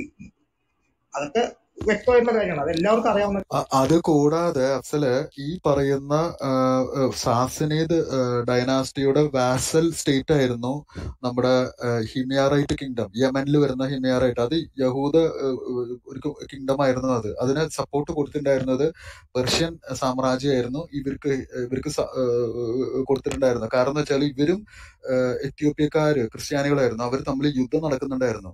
ആ പർട്ടിക്കുലർ നിങ്ങൾ പറയുന്ന താഴെ നിങ്ങൾ പറയുന്ന മെക്കയുടെ താഴെയൊക്കെ ഒരു സന എന്ന് പറഞ്ഞ സ്ഥലം. യമന്റെ അവിടെ ഒരു വലിയ കത്തീഡ്രലും കുലൈസ് എന്ന് പറഞ്ഞിട്ടുള്ള കത്തീഡ്രലൊക്കെ ഉണ്ടായിരുന്നു.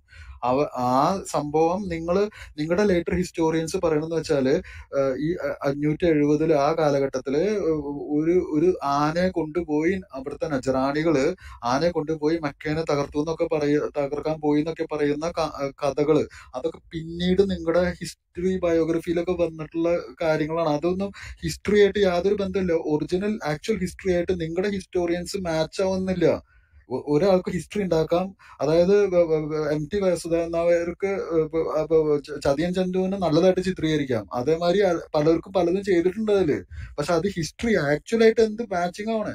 അങ്ങനത്തെ ഒരു സംഭവം നടന്നിട്ടില്ല. അങ്ങനത്തെ ഒരു ആനയെ കൊണ്ടുവന്ന് ഒരു ഡെസേർട്ടിൽ കൊണ്ടുപോയി ഒരു പള്ളി തീർക്കാൻ പോകുന്ന ഒരു സംഭവം റെക്കോർഡ് അല്ല ഹിസ്റ്റോറിക്കലി അങ്ങനത്തെ കുറെ സംഭവങ്ങൾ ഉണ്ട് നിങ്ങളുടെ ഹിസ്റ്ററിയിൽ നിങ്ങളുടെ ഹിസ്റ്ററി ബുക്കിലാണ് ഞാൻ പറയുന്നത് തെറ്റുണ്ടെന്ന്. അത് കാരണമാണ് അന്നത്തെ കോമൺ ഹിസ്റ്ററി പഠിക്കണം എന്ന് പറയുന്നത് ഔട്ട്സൈഡ് ഓഫ് ദ ഇസ്ലാമിക് സോഴ്സസിലെ ഹിസ്റ്ററി ആ കാലഘട്ടത്തിൽ പഠിക്കണം എന്ന് പറയുന്നത് ഒരു അഞ്ഞൂറ് തൊട്ട് ഒരു അറുന്നൂറ്റമ്പത് വരെ പഠിച്ച അല്ലെങ്കിൽ ഒരു എഴുന്നൂറ് വരെ പഠിച്ച ഇരുന്നൂറ് കൊല്ലത്തെ ഹിസ്റ്ററി പഠിച്ചാൽ അത്യാവശ്യം കാര്യങ്ങളൊക്കെ പിടികിട്ടും. ഓക്കെ അഫ്സൽ. അഫ്സൽ നല്ല രീതിയിൽ നമ്മളോട് സംസാരിച്ചു. ഇങ്ങനെയുള്ള വ്യക്തികളെ നമുക്ക് ആവശ്യം ആവശ്യമാണ് അദ്ദേഹം തന്നെ ഫീലിൽ പറയുന്ന കാര്യല്ലേ? സൂറത്ത് ഫീലിൽ അപ്പൊ പറയുന്ന കാര്യല്ലേ? ഇത് ആനയാണോ? അതെ. അതെ ആ സംഭവത്തിന് എവിടെയാണ് ഹിസ്റ്റോറിക്കലി ഇത്? ഖുറാൻ പറയുന്നുണ്ട്. നൂറ്റഞ്ചാമത്തെ ചാപ്റ്ററിൽ ഓക്കെ ആ പർട്ടിക്കുലർ സംഭവത്തിന് എവിടെ ഹിസ്റ്റോറിക്കലി പ്രൂഫ് എവിടെയാ? ഹലോ ഹലോ ആ കേൾക്കുന്നുണ്ട് കേൾക്കുന്നുണ്ട്. പറഞ്ഞു.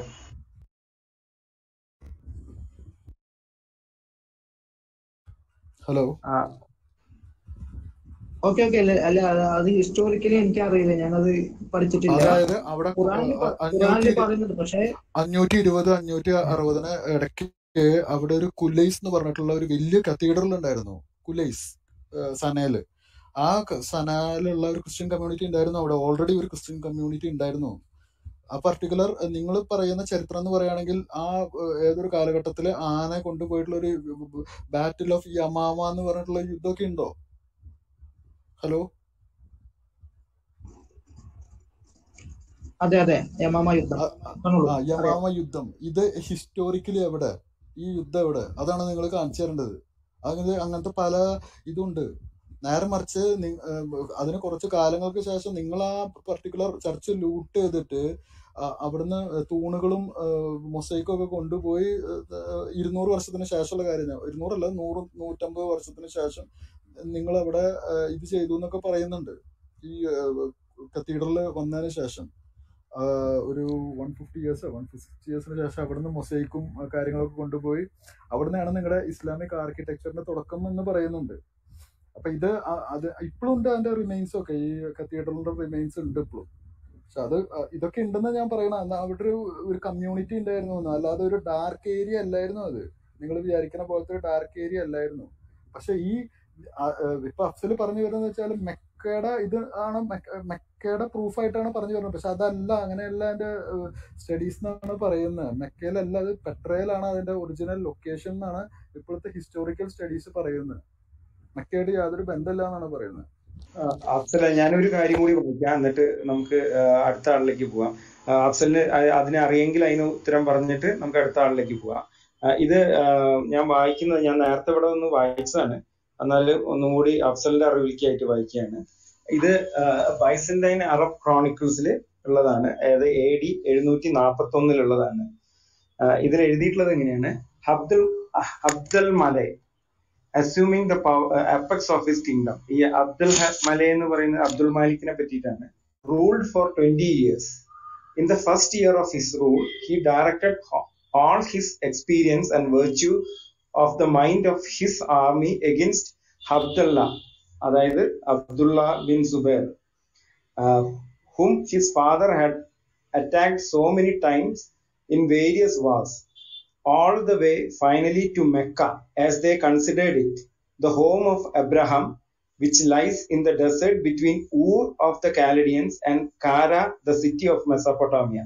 അപ്പൊ ഈ മെക്ക എന്ന് ഇപ്പൊ ഈ ബൈസന്റൈൻ അറബ് ക്രോണിക്കിൾസിൽ എ ഡി എഴുന്നൂറ്റി നാൽപ്പത്തി ഒന്നിൽ എഴുതിയിട്ടുള്ള ബൈസന്റൈൻ അറബ് ക്രോണിക്കിളിൽ മെക്ക എന്ന് പറയുന്ന പട്ടണത്തിന്റെ ഇത് ജിയോഗ്രഫിക്കൽ ലൊക്കേഷൻ ക്ലിയർ ആയിട്ട് കൊടുത്തിട്ടുണ്ട് അതിൽ പറയുന്നത് എവിടെയാന്ന് വെച്ചാൽ ഊർ ഓഫ് ദ കാലഡിയൻസ് അതായത് ഇന്നത്തെ ടർക്കിയുടെ ഒരു സദേൺ ഭാഗമായിട്ട് വരും ആൻഡ് കാര the city of Mesopotamia Mesopotamia എന്ന് പറഞ്ഞാൽ ഇന്നത്തെ ഇറാഖ്. ഇതിന്റെ രണ്ടിന്റെയും ഇടയിലുള്ള മെക്ക എന്ന് പറയുന്ന സ്ഥലത്താണ് ഇവർ തമ്മിൽ യുദ്ധങ്ങൾ നടന്നത്.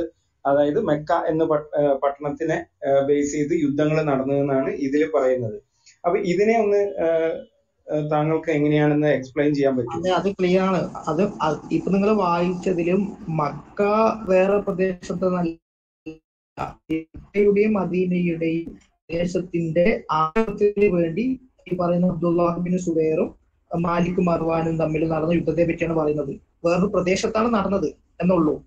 മനസ്സിലായോ? അല്ല അപ്പൊ അതാണ് പറയുന്നത്. അത് അപ്പൊ എങ്ങനെ അതായത് ഇന്ന് ഇതിൽ പറയുന്നത് ഈ ഊറിന്റെയും കാര എന്ന് പറയുന്ന സിറ്റികളുടെയും ഇടയിലുള്ള സ്ഥലത്താണ് ഈ പറയുന്ന മക്ക എന്ന് പറയുന്ന പട്ടണം എന്നാണ് പറയുന്നത്. അത് ഇന്നത്തെ മെക്കയായിട്ട് യാതൊരു കണക്ഷനും ഇല്ല. അത് എത്രയോ മുകളിലാണ് എത്ര മുകളിലാണ് ഏകദേശം ഒരു ആയിരത്തി അഞ്ഞൂറ് രണ്ടായിരം കിലോമീറ്റർ മുകളിലേക്കാണ് ഈ പറയുന്ന സ്ഥലങ്ങൾ കിടക്കുന്നത്. അപ്പൊ അപ്പൊ തന്നെ ഇപ്പൊ വായിച്ചതിലും മക്ക എവിടെയാണെന്ന് പറയുന്നില്ലല്ലോ. ഞാൻ മനസ്സിലാക്കിയത്തോളം മക്കയ്ക്ക് വേണ്ടി ഇന്ത്യ പ്രദേശത്ത് വെച്ച് യുദ്ധം നടന്നു എന്നാണ്. അത് സ്വാഭാവികം മക്ക ഈ പറയുന്ന മക്ക ഞാൻ പറയട്ടെ മക്ക ഇസ്ലാമിക്കലി മക്ക ഒരു പരിശുദ്ധമായ സ്ഥലമാണ്. ആ മക്കയിൽ യുദ്ധം ചെയ്യാന്നുള്ള പോസിബിൾ ആയിട്ടുള്ള കാര്യമല്ല. മക്കയിൽ യുദ്ധം ചെയ്യരുത് എന്നുകൊണ്ട് ഖുറാൻ ആയത്തുണ്ട്. അപ്പൊ ആ ഒരു പ്രദേശത്തിന്റെ ആധിപത്യത്തിന് വേണ്ടി മറ്റൊരു പ്രദേശത്ത് സൈന്യങ്ങൾ തമ്മിൽ ഏറ്റുമുട്ടി. എന്ന് മനസ്സിലാക്കാലോ? അങ്ങനെയല്ല ഇതിൽ പറയുന്നത്. ഞാൻ വായിക്കാം ഒന്നുകൂടി. ഞാൻ വായിക്കാം. ഇതിൽ പറയുന്നത് against Abdullah whom his father had attack so many times in various war all the way finally to Mecca as they considered it the home of Abraham which lies. Which lies അത് എവിടെയാണ് location പറയാ ഇനി ആ പട്ടണത്തിന്റെ location പറയാ which lies in the desert between Ur of Chaldeans and Kara the city of Mesopotamia. അപ്പൊ ഇത് ഈ രണ്ട് സ്ഥലത്തിന്റെ ഇടയ്ക്കാണ് ഈ പട്ടണം എന്നാണ് ഇതിൽ പറയുന്നത്. അല്ലാണ്ട് പുസ്തകമാണോ ലിങ്കാണോ ഏഹ്? പുസ്തകമാണോ ലിങ്കാണോ കയ്യിലുള്ളത് എന്റെ കയ്യിൽ ഇപ്പൊ ഞാനത് ഞാനിത് പണ്ട് എഴുതി വെച്ചിട്ടുള്ള കാര്യങ്ങളാണ്. അതിന്റെ ലിങ്ക് ഒന്ന് കിട്ടണമെങ്കിൽ ഇത് ബാക്ക് ചാനൽ മെസ്സേജ് അയക്കും നോക്കാം. ഞാൻ ഞാൻ അയച്ചു തരാം ഞാൻ അയച്ചു തരാം. അത് നോക്കി എഴുതി പണ്ട് പണ്ട് എഴുതി വെച്ചിട്ടുള്ള കാര്യങ്ങളാണ് അതൊക്കെ. ഹലോ പോസ്റ്റ് ആയിട്ട് ഇട്ടിരുന്നതാണ്. അപ്പൊ അതിന്നാണ് ഇപ്പൊ ഇതൊക്കെ എടുത്തിട്ടുള്ളത്. അഫ്സൽ എന്റെ ഭാഗത്തുനിന്ന് ഒരു തെറ്റ് കേട്ടോ. അത് ബാറ്റിൽ ഓഫ് യമാമയല്ല അമോൽഫിൽ എന്ന് പറഞ്ഞിട്ടുള്ളത് എലിഫന്റ് ഇത് അബ്രഹ എന്ന് പറഞ്ഞിട്ടുള്ള ഒരു രാജാവ് അബൂബക്കറിന്റെ കാലഘട്ടത്തിൽ മുസൈലിമ എന്ന് പറയുന്ന പ്രോഫിറ്റിനെതിരെ നടന്ന യുദ്ധമാണ് അല്ല അതല്ല അതല്ല. ഇത് അമുൽഫിൽ എന്ന് പറയുന്ന സംഭവമാണ്. അബ്രഹ എന്ന് പറയുന്ന ഒരു ക്രിസ്ത്യൻ രാജാവ് നടത്തിയിട്ടുള്ള ഒരു എക്സ്പെഡീഷൻ ആണ് നിങ്ങളുടെ നെറേറ്റീവ് അങ്ങനെ ഒരു സംഭവം ചരിത്രത്തിൽ ഉണ്ടായിട്ടില്ല. അതായത് അമുൽഫിൽ എന്ന് പറഞ്ഞിട്ടുള്ള ഒരു സംഭവം. അഞ്ഞൂറ്റി എഴുപതിൽ ഒരു ഈ അടുത്ത ആൾക്കാരിലേക്ക് പോവാ. കാരണം എന്താണെന്ന് വെച്ചാൽ ഞങ്ങളിപ്പോ കുറെ നേരമായി ഇത് സ്റ്റാർട്ട് ചെയ്തിട്ട്. അപ്പൊ അല്ല എനിക്ക് നിങ്ങളുടെ ചോദ്യത്തിന് പൂർണമായിട്ട് വളരെ നന്ദി. നമുക്ക് അടുത്ത ആൾക്കാരിലേക്ക് പോവാന്ന് തോന്നുന്നു. അടുത്ത ആരാ സംസാരിക്കുന്നത് അബ്ബാ സിസ്റ്റർ. അതിനു മുമ്പ് ഒരു ഒരു ഒറ്റ കാര്യം ഞാൻ പറഞ്ഞോട്ടെ. Please follow unpack history we are god come up with more hypothesis and historical events from Islamic history in, in coming days. അത് ഞങ്ങൾ റൂം അതിനനുസരിച്ച് ഓരോ ടൈം ഫിക്സ് ചെയ്ത് ഇടുന്നതായിരിക്കും. ഓക്കെ അപ്പൊ നിങ്ങൾ അറിയിച്ച് നമുക്കത് പ്രിപ്പയർ ചെയ്തിട്ട് വരാം. ഇനി ഇടുന്ന സമയത്ത് അഫ്സൽ തീർച്ചയായിട്ടും പ്രിപ്പയർ ചെയ്ത് വരാം. തീർച്ചയായിട്ടും നിങ്ങളുടെ ഒരു നിങ്ങളുടെ ക്ലെയിംസ് നിങ്ങൾക്ക് തീർച്ചയായിട്ടും വെക്കാം. ഇത് വൺ സൈഡ് ടോക്ക് അല്ല. ഇത് ഇപ്പൊ ഞാനായിട്ടോ ഇപ്പൊ രാജാ ബ്രദറോ എബ്രാം ബ്രദറോ ഇനോക് ബ്രദറോ അല്ല. We are giving place for every ഇപ്പൊ ജെ ജെ ബ്രദറും വന്നു. പുള്ളിയുടെ ക്ലെയിം അറിവും ഷെയർ ചെയ്തു. This is the platform anybody can come and share the thoughts അത് പിന്നെ റെഫ്യൂട്ട് ചെയ്യാൻ പറ്റുന്ന ആ ലെവലിലാണെങ്കിൽ തീർച്ചയായിട്ടും റെഫ്യൂട്ട് ചെയ്യണം. അല്ലെങ്കിൽ അതിന് ഒരു പാരലൽ ആയിട്ടുള്ള എന്തെങ്കിലും ഒരു ഒരു എന്തെങ്കിലും ഒരു എക്സ്പ്ലനേഷൻസ് ഉണ്ടെങ്കിൽ അത് വെക്കാം. ഹിസ്റ്റോറിക്കൽ എന്തെങ്കിലും ഇവന്റ്സ് ഉണ്ടെങ്കിൽ അത് വെക്കാം. ഹിസ്റ്റോറിക്കൽ ഡോക്യുമെന്റേഷൻ വെക്കാം. അതിനെ ഉദ്ദേശിച്ചാണ് ഞാൻ pack history we are basically made for അതുകൊണ്ട് please follow this club we are going to come up with many other events so that people should know what exactly the history is actually. നമ്മൾ പഠിക്കുന്ന ഹിസ്റ്ററിയും നമ്മൾ കേൾക്കുന്ന ഹിസ്റ്ററിയായിട്ട് വളരെ വ്യത്യാസങ്ങളുണ്ട്. അത് മനസ്സിലാക്കേണ്ടതും മറ്റുള്ളവരെ എത്തിക്കേണ്ടത് ഓരോ റെസ്പോൺസിബിലിറ്റി ഉണ്ട്. So please follow this club so that we gon to come up with more of a historical events and more of a historical facts thank you so much അടുത്ത അബാസ് അബാസ് സിസ്റ്റർ പറഞ്ഞു. ബ്രദർ ഞാൻ കുറച്ച് കഴിഞ്ഞിട്ട് സംസാരിക്കാം. ഞാൻ അല്പ അല്പ തിരക്കുണ്ട്. ഞാനൊരു ലിങ്ക് ഇനോക്ക് ബ്രദറിന് അയച്ചായിരുന്നു. അത് വർക്ക് ചെയ്യുന്നില്ലെന്ന് പറഞ്ഞു. ഞാൻ ചെക്ക് ചെയ്തിട്ട് സംസാരിക്കാം. ഓക്കെ അടുത്തത് Ajay brother I think he's on call I think KC sister സംസാരിച്ചോളൂ. ഷീ ഗോട്ട് ഡിസ്കണക്ട് ഹലോ കേൾക്കാമോ ഓക്കെ. ഹലോ കേൾക്കാമോ ആ കേൾക്കാം കേൾക്കാം. ഓക്കെ ഫ്രൈസ് ലോഡ് എല്ലാ പ്രിയപ്പെട്ടവർക്കും വേഗം വരുന്നവനായ യേശു ക്രിസ്തു നാമത്തിൽ എന്റെ സ്നേഹവന്ദനം. ഇതുവരെയും ഇതുവരെ ഞാൻ വിഷയം അവതരിപ്പിച്ച എല്ലാവരുടെ കാര്യങ്ങൾ ഇങ്ങനെ കേട്ടോണ്ടിരിക്കുകയായിരുന്നു. മെക്ക എന്ന് പറയുമ്പോൾ അത് ഒരു ക്യൂരിയോസിറ്റി എന്താ പറയുന്നത് ഡെവലപ്പ് ചെയ്യുന്ന ഒരു വാക്ക് തന്നെയാണ്. സ്ഥലം ഇപ്പോൾ കേട്ട സ്ഥിതിക്ക് അങ്ങനെ ഒരു സ്ഥലമില്ല. അല്ലെങ്കിൽ അത് പറഞ്ഞേക്കുന്നത് ജസ്റ്റ് ഒരു ഊഹാബോഹത്തിലൂടെയാണെന്നുള്ള കാര്യം ഇവിടെ പലരും പറഞ്ഞതിലൂടെ മനസ്സിലാക്കുന്നു. സോ ഒത്തിരി ഒത്തിരി സന്തോഷം ഇങ്ങനെ ഒരു റൂം നിങ്ങൾ ഓപ്പൺ ചെയ്ത് ഒരു ജിയോഗ്രഫിക്കൽ ഹിസ്റ്ററി തീർച്ചയായിട്ടും ഇസ്ലാമിനെ ഇസ്ലാം ഇസ്ലാമിനോട് ബന്ധപ്പെട്ട് ഞ- നമുക്ക് ആവശ്യമാണ്. എന്ന് പറഞ്ഞാൽ നമ്മൾ ഹദീസുകളും അല്ലെങ്കിൽ ഖുറാന്റെ കാര്യങ്ങളും ഒക്കെ ഇങ്ങനെ മറ്റ് റൂമുകളിലൊക്കെ കേട്ടോണ്ടിരിക്കുമ്പോൾ ഓരോ സ്ഥലങ്ങളെ പറ്റി പറയുമ്പോൾ ആ സ്ഥലങ്ങൾ വാസ്തവത്തിലുണ്ടോ എന്നുള്ള കാര്യം കൂടെ വെളിപ്പെടുത്തുന്ന ഒരു റൂമായിട്ട് നിങ്ങൾ ഇത് തുറന്നിരിക്കുമ്പോൾ അത് ഒത്തിരി ഒത്തിരി ഒരു എന്താ പറയുന്നേ എല്ലാവർക്കും ഒരു ഐ ഓപ്പണിംഗ് സെഷൻ ആണ്. തീർച്ചയായിട്ടും this is a great start I mean ഇന്നത്തെ സെഷൻ തന്നെ ഒത്തിരി ബ്ലെസ്ഡ് ആയിരുന്നു. It was really good thank you all I mean Raja brother Enoch brother Abram brother ഗിബോ brother പിന്നെ ഷിജുവാൻ ചാൻ വന്ന് ജെ ജെ ബ്രദർ ഒക്കെ പറഞ്ഞു. Thank you so much for the valid contribution നിങ്ങളൊക്കെ പറഞ്ഞ നിങ്ങളൊക്കെ പല കാര്യങ്ങളൊക്കെ പഠിച്ചിട്ടാണ് ഇവിടെ വന്ന് ഇതൊക്കെ അവതരിപ്പിക്കുന്നത്. സോ തീർച്ചയായിട്ടും നിങ്ങളുടെ എഫേർട്സിനെ അപ്രീഷിയേറ്റ് ചെയ്യുന്നു. കേൾക്കുന്ന ഓരോരുത്തർക്കും അതൊരു വലിയ അനുഗ്രഹമാണ് ഒരു നേട്ടമാണ് എന്ന് ഞാൻ മനസ്സിലാക്കുന്നു. As a listener it was great you know എനിക്ക് വേണ്ടി ഒരു ഒത്തിരി അനുഗ്രഹമായിരുന്നു. I am looking forward to more of your rooms തീർച്ചയായിട്ടും ഞാൻ ഈ റൂമിനെ ഫോളോ ചെയ്യുന്നുണ്ട്. ഞാൻ ലിസണേഴ്സിനോട് അപേക്ഷിക്കുന്നു. നിങ്ങളും ഫോളോ ചെയ്യുക. ആഹ് ഇവിടുത്തെ മോഡറേറ്റേഴ്സിനെ ഫോളോ ചെയ്യുക. അപ്പം നിങ്ങൾക്ക് അതിന്റെതായിട്ടുള്ള നോട്ടിഫിക്കേഷൻ വരും. വരുന്ന ദിവസങ്ങൾ ഇതിൽ കൂടുതലായിട്ട് കാര്യങ്ങൾ മനസ്സിലാക്കാനും തെറ്റിദ്ധാരണകളൊക്കെ മാറിപ്പോവാൻ തക്കവണ്ണം ഇതൊരു മുഖാന്തരമായി തീരട്ടെ. അതുപോലെ അതുപോലെ തന്നെ മുസ്ലിങ്ങൾക്ക് ഇസ്ലാം സഹോദരങ്ങൾക്ക് ഇതൊരു അവർക്കും ഇതൊരു എന്താ പറയുന്നത് ആസ് എ നോൺ മുസ്ലിം ഇത് എത്രത്തോളം ഞങ്ങൾക്ക് ബെനിഫിഷ്യൽ ആകുന്നു അത്രത്തോളം അവർക്കും അതൊരു ഐ ഓപ്പണിംഗ് സെഷനായി തീരട്ടെ എന്ന് ഞാൻ ആഗ്രഹിക്കുന്നു. God bless you all thank you for the efforts yeah Thank you, sister, for your encouraging words. Really beautiful to hear all this kind of things. That definitely going to encourage the people. All already, all our brothers are taking their efforts and uh, reading so much uh, uh, historical uh, informations. അത് കഴിഞ്ഞിട്ടാണ് ഇത് present ചെയ്യുന്നത് ആഹ് ഇത് എനിക്ക് വ- വളരെയധികം അത്ഭുതം പോയോ ആഹ് സ- സന്തോഷമുള്ള കാര്യമാണ്. So we are planning to do it in in a larger way Anil ബ്രദറൊക്കെ ഇതിനകത്ത് വളരെ കീ പ്ലേയേഴ്സ് ആണ്. പുള്ളിയുടെ ഒക്കെ മുമ്പിൽ നത്തിങ് സോ ഞങ്ങളാൽ കഴിയുന്ന കോൺട്രിബ്യൂഷൻ തീർച്ചയായിട്ടും ചെയ്യുന്നതാണ്. മറ്റുള്ളവർക്കൊരു it's a kind of an awareness our historical important ആയിട്ടുള്ള കാര്യങ്ങൾ ഷെയർ ചെയ്യുന്നു ഗിബോർ ബ്രദറെ അനിലച്ചാനോ അനിൽകുടിത്തോട്ടം പാസ്റ്ററോ അല്ലെങ്കിൽ സെബാസ്റ്റ്യൻ പുന്നക്കൽ ബ്രദർ മാത്രം അവരിൽ മാത്രം ലിമിറ്റഡ് ആയിട്ട് നിൽക്കേണ്ട കാര്യങ്ങളല്ല. ഈ ശുശ്രൂഷകൾ എന്നൊക്കെ പറയുമ്പോൾ ഇതിന്റെ പിന്നിൽ അവരെ അനുഗമിക്കുന്നവർ അല്ലെങ്കിൽ അവരെ കണ്ടിട്ട് ഈ കാര്യങ്ങൾക്ക് വേണ്ടി ഇറങ്ങി തിരിച്ച അനേകരുണ്ട്. So I want all of them to come up you know നിങ്ങളൊക്കെ ഒരു ഫ്രണ്ട് വാരിയേഴ്സ് ആയിട്ട് വരുന്ന ദിവസങ്ങളൊക്കെയും ആയി തീരണം. May God use you all mightily because the efforts are definitely you know in a wider wider way I know ഇതിനൊക്കെ പ്രയത്നം എന്ന് പറഞ്ഞു കഴിഞ്ഞാൽ ഓരോ ഒന്നോ രണ്ടോ ദിവസം ഇരുന്ന് ചുമ്മാ വായിച്ചിട്ട് വരുന്നതല്ലല്ലോ നീ നിങ്ങളൊക്കെ ഒത്തിരി ഒത്തിരി ഇതിനു വേണ്ടി പ്രയത്നിക്കുന്നുണ്ടെന്ന് ഞാൻ അറിയുന്നു. സോ ഡെഫിനറ്റ്ലി നിങ്ങളൊക്കെ മുന്നോട്ട് വരണം. ആ, നിങ്ങളും അവരെ പോലെ തന്നെ ആം, ഈ ഒരു മേഖലയിൽ നല്ല ശുശ്രൂഷയിൽ വഹിക്കുന്ന ആൾക്കാരായി തീരണം എന്ന് ഞാൻ തീർച്ചയായിട്ടും ആഗ്രഹിക്കുന്നു. So definitely God will use you all don't you know underestimate you your So yeah, God will definitely use you. Thank you sister thank you so much thank you so much for your kind words ഇനി sister തീർച്ചയായിട്ടും അടുത്ത വിജോ വിജോയ്സ്. വിജോയ്സിന് അജയ് അജയ് ഉണ്ടെന്ന് Ajay Ajay. Ajay.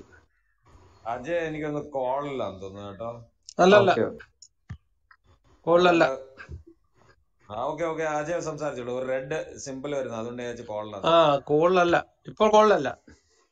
Brother പറഞ്ഞോളൂ പറഞ്ഞോളൂ ആ. Please അത് ശരിയാണ്. കാരണം അറബ്സിനെ സംബന്ധിച്ചിടത്തോളം പറയുമ്പോഴേ ഒരു വലിയ ഈ പ്രീ ഇസ്ലാമിക് പാനിസ് പ്രീ ഇസ്ലാമിക് പീരീഡ് എന്ന് പറഞ്ഞാൽ വളരെ റിച്ച് ആയിട്ടുള്ള ഒരു സംസ്കാരമായിരുന്നു അവർക്ക്.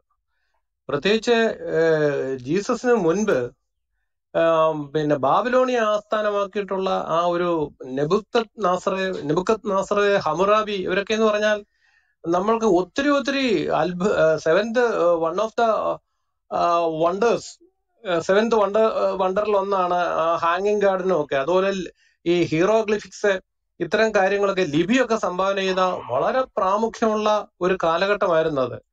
പ്രത്യേകിച്ച് അതിന് മുൻപ് തന്നെ നമുക്ക് ഉദാഹരണമല്ലോ ഗ്രീക്ക് മിത്തോളജി അനുസരിച്ച് അല്ലെങ്കിൽ പിന്നെ ഇലിയഡും ഒഡീസയും ഒക്കെ എഴുതിയ ഹോമർ അതുപോലെ തന്നെ പ്ലേറ്റോ അല്ലെങ്കിൽ സോക്രട്ടീസ് അരിസ്റ്റോട്ടിൽ ഇവരുടെ ഒക്കെ കാര്യം ചരിത്രം നമ്മുടെ മുന്നിലുണ്ട്.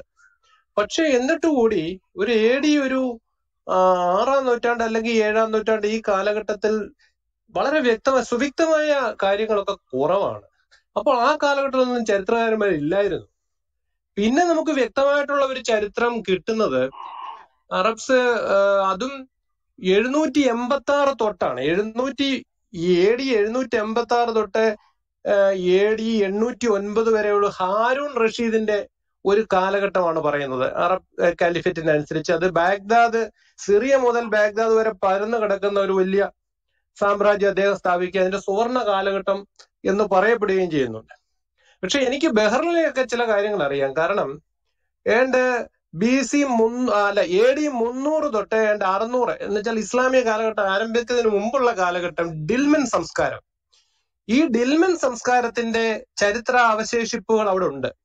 അവിടെ ആർക്കിയോളജിക്കൽ വകുപ്പുകാര് ഈ ആന്ത്രപ്പോളജിസ്റ്റുകളൊക്കെ വളരെ ഗവേഷണം നടത്തി അതിന് പ്രകാരം അവിടെ ഭയങ്കരമായിട്ട് മൈനിങ് നടത്തി ഡിൽമൻ സംസ്കാരവുമായിട്ട് ബന്ധപ്പെട്ട പല ചരിത്രാവശിഷ്ടങ്ങളും കണ്ടെത്തിയിട്ടുണ്ട്. ഇപ്പോഴും അവർക്ക് കാണാവുന്നതാണ്. കാരണം അന്ന് അവിടെ ബലിത്തറയും അതുപോലെ ഈ കൽക്കുളങ്ങളും വിഗ്രഹങ്ങളും ഒക്കെ അപ്പോൾ ആ ഒരു കാലഘട്ടം അതിനു മുൻപേ അവിടെ നല്ലൊരു സംസ്കാരം ഉണ്ടായിരുന്നു. അതിനുശേഷം ഏകദേശം ഈ അറുന്നൂറിന് ശേഷം പ്രോഫറ്റിന്റെ കാലഘട്ടത്തിന്റെ അദ്ദേഹത്തിന്റെ ആ ജീവിതകാലം നമ്മൾക്ക് ഇപ്പോഴും വ്യക്തമല്ല. ഇങ്ങനെ പല ചരികൾ കൂടെ ഓരോരുത്തരും പല ആയിരക്കണക്കിന് പേര് എഴുതി ക്രോഡീകരിച്ചു വെച്ചതല്ലാതെ വ്യക്തവും സുവ്യക്തമായ ഒരു കാര്യങ്ങൾ നമുക്കില്ല. അതോടൊപ്പം തന്നെ ഈ വടക്കൻ പ്രദേശങ്ങൾ ഇപ്പൊ ഉദാഹരണം അറേബ്യയുടെ വടക്ക് പടിഞ്ഞാറ് വരെയൊക്കെ ആ എ ഡി അറുന്നൂറ്റി മുപ്പത് വരെയെങ്കിലും റോമിന്റെ കീഴിലായിരുന്നു. റോമ സാമ്രാജ്യത്തിന്റെ ഭാഗമായിരുന്നു ഒക്കെ. അതിനുശേഷമാണ് ഈ ഒരു സംഭവം ഉണ്ടാകുകയും പിന്നെ ഈ സ്ഥാപിക്കപ്പെടുകയും ചെയ്യുന്നതെന്ന് പറയുമെങ്കിൽ തന്നെയും ആ കാലഘട്ടത്തിൽ വളരെ സ്പെസിഫിക് ആയിട്ട് നമുക്കൊന്നും വ്യക്തമല്ല. ഇതാണ് എനിക്ക് എന്റെ ഒരു ഒരു ഒരു പെർസെപ്ഷൻ എന്ന് പറയുന്നത്. ഇത്രയാണ് എനിക്ക് പറയാനുള്ളൂ. താങ്ക്സ്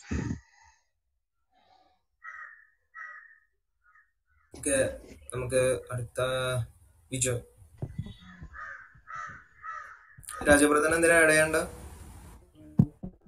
അല്ല അപ്പൊ സിസ്റ്റർ വന്നിട്ടുണ്ടായിരുന്നല്ലോ. ഹലോ കേൾക്കുന്നുണ്ടോ യാ പറഞ്ഞു വികാസ് പറഞ്ഞു road actually I was on my riding gears ഞാനിപ്പോൾ റോഡിന്റെ സൈഡിലാണ് ബൈക്ക് ഒന്ന് സൈഡാക്കി നിർത്തിയതാണ്. പിന്നെ anyway convert appreciate you for this great effort congratulations ഇത് കണ്ടിന്യൂസ് ആയിട്ട് തുടർന്നുകൊണ്ട് പോവുക. ഒരു റിക്വസ്റ്റ് ഉള്ളത്. നമ്മൾ ചരിത്രമാണ് പറയുന്നത്. അത് ഒരു നമ്മളുടെ ഒരു ഒരു പിന്നെ പിന്നെ വാദ വിജയത്തിന് വേണ്ടിയിട്ട് നമ്മൾ ഒരിക്കലും വളച്ചൊടിക്കാൻ വേണ്ടിയിട്ട് ശ്രമിക്കരുത്. കാരണം ഇത് പഠിക്കുന്ന കുറെ ആൾക്കാരുണ്ട്. അതും കൂടി ഒന്ന് ശ്രദ്ധിക്കണം. സത്യസന്ധമായിട്ട് ചരിത്രങ്ങൾ അവതരിപ്പിക്കാൻ വേണ്ടിയിട്ട് ശ്രമിക്കുക എന്നുള്ളത് എളിയ റിക്വസ്റ്റ് എല്ലാവർക്കും സ്നേഹത്തോടെ ഒത്തിരി ഒത്തിരി സന്തോഷം. കാരണം ഞാൻ എന്നും ഒരു ലിസണറായിട്ട് കൂടെ ഉണ്ടാവും. Thank you very much thank you brother thank you Abbas sister thank you സംസാരിക്കാം. ആ ബ്രദേഴ്സ് എല്ലാവർക്കും യേശുവിന്റെ നാമത്തിൽ വന്ദനങ്ങൾ. നിങ്ങൾക്ക് എല്ലാവർക്കും എന്റെ അഭിനന്ദ അഭിനന്ദനങ്ങൾ അറിയിക്കുകയാണ്. സോറി പ്രത്യേകിച്ച് നിങ്ങൾ ഈ റൂം ഇട്ടപ്പോൾ ഞാൻ ഓർത്തു ഓൾറെഡി പല പ്രാവശ്യം കേട്ടുള്ള കാര്യമാണല്ലോ. പുതിയതായിട്ട് എന്തെങ്കിലും കേൾക്കാനുണ്ടാവോ? അല്ലെങ്കിൽ ഇത് പിന്നെയും ആൾക്കാർ കൂടുമോ ഇങ്ങനെയൊക്കെ ഞാൻ ചിന്തിച്ചു. എനിവേ ഞാൻ കുറേയൊക്കെ കേട്ടു. ഇടയ്ക്ക് എനിക്ക് പോകേണ്ടി വന്നു. You have presented the facts very well പിന്നെ ഞാൻ ശ്രദ്ധിക്കുന്ന ഒരു കാര്യം എന്ന് പറയുമ്പം ഹിസ്റ്റോറിക്കൽ ആയിട്ടുള്ള ഇങ്ങനെയുള്ള ഫാക്ട്സ് കൊണ്ടുവരുമ്പം പല രീതിയിലുള്ള സയന്റിഫിക് ഫാക്ട്സിനെ കൊണ്ടുവരുമ്പോൾ അത് സിംപ്ലിഫൈ ചെയ്ത് മറ്റുള്ളവർക്ക് മനസ്സിലാക്കി കൊടുക്കാൻ വളരെ ലിമിറ്റേഷൻസ് ഉണ്ട്. പക്ഷെ നിങ്ങൾ അതിനെ ഭംഗിയാക്കിയിട്ടാണ് നടത്തിയിരിക്കുന്നത്. ആൻഡ് ഓൾസോ എന്താ അതിനെ നല്ല പേഷ്യൻസോട് കൂടെ തന്നെയാണ് എല്ലാ റെഫ്യൂട്ടേഷൻസിനെയും അല്ലെങ്കിൽ എല്ലാം സോറി എല്ലാ കാര്യങ്ങളെയും നിങ്ങൾ പ്രസന്റ് ചെയ്യുകയും ചെയ്തിരിക്കുന്നത് ഞാൻ ഒന്ന് രണ്ട് റെഫറൻസസിനെ ഞാൻ കൊടുക്കാൻ വേണ്ടി നോക്കി. എനിക്കത് സാധിച്ചില്ല. Anyway you can look at it ഞാൻ ആ ലിങ്ക് പിന്നെ ഒന്ന് എടുക്കാൻ നോക്കാം. രണ്ട് കാര്യങ്ങളാണ്. ഇപ്പോൾ വാട്ട് എവർ സയന്റിഫിക് സെർച്ച് അല്ലെങ്കിൽ ആർക്കിയോളജിക്കൽ എവിഡൻസസ് ഉള്ളത്. അതിനെ എല്ലാവരും ഇത് നടന്നുകൊണ്ടേയിരിക്കും and not necessary everybody needs to believe facts അത് നോയിങ് ദ ഫാക്ട്സ് ഒരു കാര്യമാണ്. Believing these facts as evidence is another thing ഇപ്പം ഏത് scientific ഫാക്ട്സിനെയും can be doubted for its authenticity അല്ലെങ്കിൽ റിലയബിലിറ്റി ഓർ സെൻസിറ്റിവിറ്റി ഓക്കെ അത് ഉന്നയിച്ചുകൊണ്ടേയിരിക്കും ആൾക്കാർ so that is the test of scientific എവിഡൻസിന്റെ ഒരു ഇതെന്ന് പറയുമ്പം അതിനെ എത്ര മാറ്റൊരിച്ച് നോക്കിയാലും ഇറ്റ് ഈസ് ടൈം ടെസ്റ്റഡ് അതുകൊണ്ടാണ് നമ്മൾ അതിനെ സയന്റിഫിക് ഫാക്ട്സ് എന്ന് പറയുന്നതും ആർക്കിയോളജിക്കൽ എവിഡൻസ് എന്ന് പറയുന്നതും അതിന് എവിഡൻസ് തന്നെ. Whether it is historical evidence അല്ലെങ്കിൽ വേറെ കൊളാബറേറ്റ് ചെയ്ത കുറെ കാര്യങ്ങളായെങ്കിലും. ആൻഡ് സയന്റിഫിക് ആയിട്ടുള്ള facts always renders itself to be tested over and over again അതെന്ത് ചെയ്താൽ തന്നെ ഇറ്റ് ഫാക്ട്സ് റിമെയിൻസ് പക്ഷേ നമ്മൾക്ക് റെസ്റ്റ് ചെയ്യാൻ പറ്റത്തില്ല. എന്ന് പറഞ്ഞാൽ since it's already proved there will be no new challenges so ഈ വർക്ക് തുടർന്നുകൊണ്ടിരിക്കും നിങ്ങൾ ചെയ്ത ചെയ്തുകൊണ്ടിരിക്കുന്ന നിങ്ങളുടെ എഫേർട്ടിന്റെ ഒരുപാട് ദീർഘകാലത്തിന്റെ എഫേർട്ടാണ് നിങ്ങൾ ഇന്ന് പ്രസന്റ് ചെയ്ത ഈ ചെറിയ പ്രസന്റേഷന്.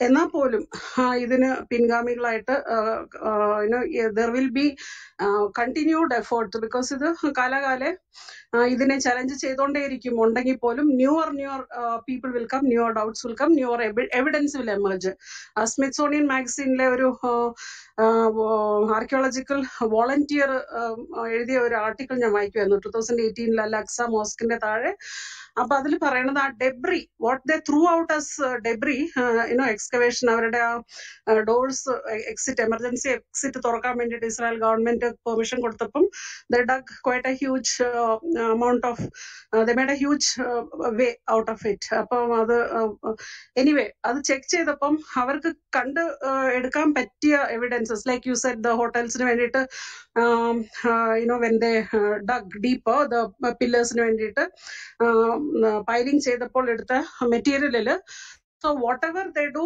there is a lot that is if it is അവർക്കാണെങ്കിൽ അവർക്ക് പ്രൂവ് ചെയ്യാനുള്ള എവിഡൻസസ് ഉണ്ട് എന്നാൽ പോലും it is against them that's all I can say thank you നിങ്ങൾ ചെയ്യുന്ന വർക്കിന് ദൈവം അനുഗ്രഹിക്കട്ടെ.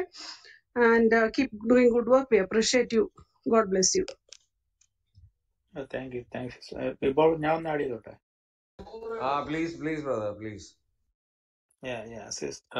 sister നമ്മൾ ഹിസ്റ്ററി നോക്കുമ്പോൾ ഹിസ്റ്റോറിയൻസ് പറയുന്നത് ഹിസ്റ്ററിയിലെ ഒരു കാര്യവും നമുക്ക് വൺ ഹൺഡ്രഡ് പെർസെന്റ് പ്രൂവ് ചെയ്യാൻ പറ്റത്തില്ല. ഒരു കാര്യവും പറ്റത്തില്ല. അതിന് ഹിസ്റ്റോറിയൻസ് പറയുന്ന മിനിമൽ ഫാക്ട്സ് എന്നാണ്. മിനിമൽ ഫാക്ട്സ് അതായത് ഒരു കാര്യത്തിനെ കുറിച്ച് നമുക്ക് മിനിമൽ ഫാക്ട്സ് ഉണ്ടെങ്കിൽ അത് മതി. അത് അവർ ഒരു എവിഡൻസ് ആയിട്ട് എടുക്കും. മിനിമൽ ഫാക്ട്സ് അപ്പോൾ ആ അത് വെച്ച് നോക്കുമ്പോൾ നമ്മുടെ ബിബ്ലിക്കലി നമുക്ക് ഒത്തിരി എവിഡൻസ് ഉണ്ട്. ആർക്കിയോളജിക്കൽ എവിഡൻസ് ഉണ്ട് ഹിസ്റ്റോറിയൻസ് എവിഡൻസ് ഉണ്ട് നോൺ ക്രിസ്ത്യൻസ് എവിഡൻസ് ഉണ്ട്. അതിനകത്ത് പേഗൻസ് ഹിസ്റ്റോറിയൻസിന്റെ എവിഡൻസ് ഉണ്ട്. കോണ്ടംപററി ഹിസ്റ്റോറിയൻസിന്റെ ഇതുണ്ട്. എല്ലാം ഉണ്ട്. പക്ഷെ നമ്മൾ ഒരു കാര്യം ചെയ്യുമ്പോൾ നമ്മൾ just evidence we are following evidence നമ്മൾ എവിഡൻസ് ഫോളോ ചെയ്യുന്നേ ഉള്ളൂ. എനിക്കൊന്ന് അഫ്സൽ ബ്രദർ ഇവിടെ സംസാരിച്ചു പക്ഷെ അദ്ദേഹത്തിന് നമ്മുടെ പോയിന്റ് ഓഫ് വ്യൂ മനസ്സിലായില്ല. നമ്മൾ എവിഡൻസ് ഫോളോ ചെയ്യുന്നത് മാത്രമേ ഉള്ളൂ. ഞാൻ പറഞ്ഞല്ലോ നമ്മൾ ഹിസ്റ്ററി പ്രൂവ് ചെയ്യുമ്പം five five things at least കാണും. The person the place the time the event പിന്നെ ആർക്കിയോളജിക്കൽ എവിഡൻസ് ഇത് മൂന്നും ആ ടൈമിൽ അവിടെ വരണം. അവർ പറയുന്ന സമയത്ത് അവിടെ വന്നാൽ അത് പ്രൂവ് ചെയ്യാനുള്ള മിനിമൽ ഫാക്ട്സ് എന്തെന്നാണ് നമ്മൾ നോക്കുന്നത്. അതാണ് ഹിസ്റ്റോറിയൻസ് നോക്കുന്നത്. അപ്പം അത് കിട്ടിയില്ലെങ്കിൽ പറയുന്നത് വെറും ക്ലെയിംസ് ആണ്. അവർ ഒട്ടും എടുക്കാൻ പറ്റത്തില്ല. പക്ഷെ നമ്മൾ അങ്ങനെയാണ് പോകുന്നത്. അങ്ങനെ പോകുമ്പോൾ ഇസ്ലാമിന് ഒരു ഹിസ്റ്റോറിസിറ്റി ഇല്ല. അവർക്കൊന്നുമില്ല. ഇപ്പൊ നേരത്തെ രാജബ്രദർ പറഞ്ഞ പോലെ നമ്മൾ ജസ്റ്റ് ഒന്ന് ഞങ്ങൾ മെക്കാന്ന് ഗൂഗിൾ അടിച്ചു നോക്കും. മെക്ക ട്വന്റി തേർട്ടി അടിച്ചു നോക്കും. ഭയങ്കര കൺസ്ട്രക്ഷൻ ആണ് അവിടെ നടക്കുന്നത്. വലിയ ബിൽഡിങ്സ് ആണ് ഉണ്ടാക്കുന്നത്. സോ അത്രയും വലിയ ബിൽഡിങ്സ് ഉണ്ടാക്കുമ്പോൾ അതുപോലെ ഡീപ്പായിട്ട് അവർ കുഴിക്കണം. ആ കുഴിക്കുമ്പം ഈ ഈ ഖുറാൻ ക്ലെയിം ചെയ്യുന്ന പോലെ ഇത് ഓൾഡസ്റ്റ് സിറ്റി ആണെങ്കിൽ അവിടെ മനുഷ്യർ ജീവിച്ച എവിഡൻസ് കാണണം. അവിടെ പോട്ടറി കാണണം. അവിടെ കോയിൻസ് കാണണം. ശവ അടക്കിയ മനുഷ്യന്റെ റിമെയിൻസ് കാണണം. ആനിമൽ റിമെയിൻസ് കാണണം. ഇതൊന്നുമില്ല. ആപ്പാടെ മെക്കെന്നുള്ള ഒറ്റ ഒരു ആർക്കിയോളജി എവിഡൻസ് പറഞ്ഞ ഒരു ഫോർട്ട് ഒരു ഫോർട്ട് മാത്രമേ ഉള്ളൂ. There is nothing no evidence നമ്മൾ ഹിസ്റ്ററി ഫോളോ ചെയ്യുമ്പോൾ എവിഡൻസ് ഇല്ല ആർക്കിയോളജിക്കൽ എവിഡൻസ് ഇല്ല. സോ അങ്ങനെ പറയുമ്പോൾ ഇതെല്ലാം ജസ്റ്റ് ക്ലെയിംസ് ആണ്. സോ അതുകൊണ്ടാണ് ഞാൻ ആദ്യം പറഞ്ഞത് Islam is just a hoax brother പറഞ്ഞത് ശരിയാണ്. ഞാൻ മനസ്സിലാക്കണത് സോറി ആർക്കിയോളജിയിലെ വർക്ക് ചെയ്യുന്ന വോളണ്ടിയേഴ്സ് അല്ലെങ്കിൽ അവർ യൂഷ്വലി പറയും ഒരു ചെറിയ പെയിന്റ് ബ്രഷ് അല്ല അവർ സംടൈംസ് യുനോ ചെറിയ ഈ മാഗ്നിഫൈങ് ലെൻസ് ഒക്കെ യൂസ് ചെയ്താണ് ഡസ്റ്റ് സ്പെക്ക് പോലും എത്ര കെയർഫുൾ ആയിട്ടാണ് മാറ്റുന്നത്. അപ്പൊ ഈ ഈ ബിൽഡിംഗ് ഡെബ്രി എന്നൊക്കെ പറയുമ്പം അതിനെ സീവ് ചെയ്തെടുത്തിട്ട് അതിൽ അതിന്റെ കെമിക്കൽ അല്ലെങ്കിൽ ആ ഡിഫറെന്റ് മെറ്റീരിയലിനെ അന്വേഷിക്കുന്നത് ജസ്റ്റ് ഒരു എക്സാമ്പിൾ പറയാം. ഇത് ഈ ഡെബ്രേക്ക് എന്ന് പറയുമ്പം ഈ ഗ്ലാസ് ടിൻ ടിന്റഡ് ഗ്ലാസിന്റെ ദേവാലയത്തിന്റെ ഒക്കെ പീസസും ഈ ചില സീൽ ചെയ്ത അതിന്റെ plaster Paris belonging to the day time of Herod ഇതൊക്കെ പൊടിഞ്ഞു പോയി കഴിഞ്ഞിട്ട്. അപ്പം എത്ര കെയർഫുൾ ആയിട്ടാണ്. ഇപ്പൊ ഇതിന്റെയൊക്കെ എനിക്ക് പലപ്പോഴും ഈ ഡിസ്കഷൻസ് വരുമ്പോഴും ഈ എവിഡൻസ് എവിഡൻസ് എന്ന് പറയുന്ന ആൾക്കാര് അവർക്ക് ഇത് എന്താന്ന് പോലും മനസ്സിലായില്ല എന്നാണ് ഞാൻ നമ്മൾ എവിഡൻസ് എന്നൊക്കെ പറയുന്നത് വേറെ ഒരു ലെവലിലാണ് ഈ മനസ്സിലാക്കാൻ വരുന്നവരുടെ. I think there are two extreme ends ഇത് എന്നാന്ന് മനസ്സിലായിട്ടില്ല. അല്ലെങ്കിൽ ഇതിന്റെ സയന്റിഫിക് ആയിട്ട് what's a fact what's a substance അല്ലെങ്കിൽ അതിന്റെ എന്താണ് എങ്ങനെയാണ് ചെയ്യണതെന്ന് ആൾക്കാർ മനസ്സിലാക്കിയിട്ടില്ല. ആ ഒരു ഗ്യാപ്പ് ഞാൻ മനസ്സിലാക്കുന്നു. നമ്മൾ പറയുന്നത് അവർക്ക് it's not how they understanding ആ ഒരു ഹ്യൂജ് ഗ്യാപ്പ് ഞാൻ കാണുന്നുണ്ട്. എന്ന് പറഞ്ഞാൽ ഹിസ്റ്ററി ക്ലാസ്സിൽ അല്ലെങ്കിൽ ആർക്കിയോളജിസ്റ്റ് ആയിട്ടുള്ള സ്റ്റുഡൻസിനോട് പഠിപ്പിക്കുന്ന ഒരു ഒരു they can understand but when ഇതിനെ ഒന്നും ഇതെന്നാ ഈ സയന്റിഫിക് മെത്തേഡ്സ് എങ്ങനെയാണ് വർക്ക് ചെയ്യുന്നതെന്ന് അറിയാത്ത ആൾക്കാർ they their level of depth of understanding is different know knowing the facts ആണ്. പക്ഷെ ഡെപ്ത് ഓഫ് അണ്ടർസ്റ്റാൻഡിങ് ആപ്ലിക്കേഷനിലേക്ക് അവർ മൂവ് ചെയ്യുന്നില്ല. ആ ഒരു ഗ്യാപ്പ് ആണ് ചിലപ്പം ബിലീഫ് മാത്രം ഓപ്പറേറ്റ് ചെയ്യുന്നതെന്ന് ഞാൻ മനസ്സിലാക്കണേ. താങ്ക് യു ബ്രദേഴ്സ് നല്ലൊരു വിശദീകരണമാണ്. താങ്ക് യു ബ്രദർ ഒരു പോയിന്റ് കൂടെ ഒന്ന് സൂചിപ്പിച്ചുകൊള്ളട്ടെ. ഈ ഇപ്പൊ സിസ്റ്റർ പറഞ്ഞ പോലെ നമ്മളിപ്പോ ഉദാഹരണം ഞാനിപ്പോ പറഞ്ഞ പോലെ തന്നെ ഈ അറബ് ഈ ഇസ്ലാമികവൽക്കരണത്തിന് മുൻപുള്ള ദശ. പ്രത്യേകിച്ച് ആ ഇറാഖ് മെസ്സപ്പൊട്ടോപ്യൻ ആ ബാബിലോണിയ സംസ്കൃതി അല്ലെങ്കിൽ ഈജിപ്ഷ്യൻ ഫറവോമാരുടെ കാലഘട്ടം. ആ കാലഘട്ടത്തിലൊക്കെ ഭയങ്കരമായ എനിക്ക് തോന്നുന്നു ഓ ശാസ്ത്രീയമായ ഒരു ശാസ്ത്ര പുരോഗതി സയൻസും ഒക്കെ ടോളമിയുടെ ഒക്കെ കാലഘട്ടം. സയൻസിന്റെ ഒക്കെ ഒരു വലിയ കുതിച്ചാട്ടം തന്നെ സംഭവിച്ചിട്ടുണ്ടാവും. അല്ലെങ്കിൽ ഈ സ്പിങ്സ് അതുപോലെ ഈ നമ്മുടെ മമ്മികൾ അതോടൊപ്പം തന്നെ അന്നത്തെ ഒരു ഈജിപ്ഷ്യൻ ഒരു സുഹൃത്ത് എന്നോട് പറഞ്ഞിട്ട് അന്നത്തെ ഈ ചുമർ ചിത്രങ്ങളൊക്കെ ഉപയോഗിച്ചിരിക്കുന്ന പെയിന്റിങ്സ് അവർ പറഞ്ഞ ചില പച്ചില ചാറുകളൊക്കെ ഉപയോഗിച്ചുകൊണ്ടാണ് ഇപ്പോഴും അത് ഒരു ഒരു മീഡിയവൽ പീരീഡ് ആണ്. ഒരു ബിഫോർ ക്രൈസ്റ്റ് പീരീഡ് ആണത്.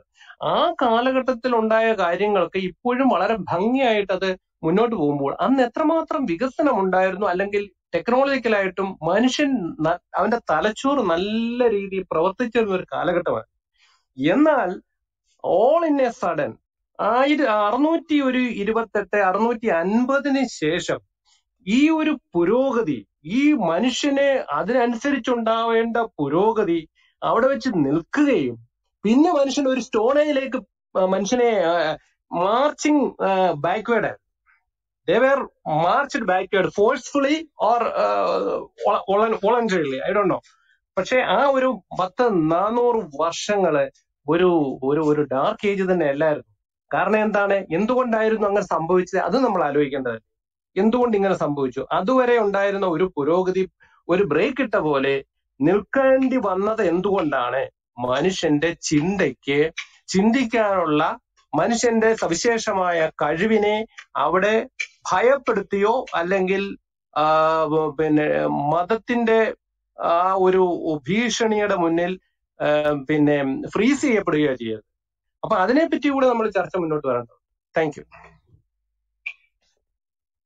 അജി ബ്രദർ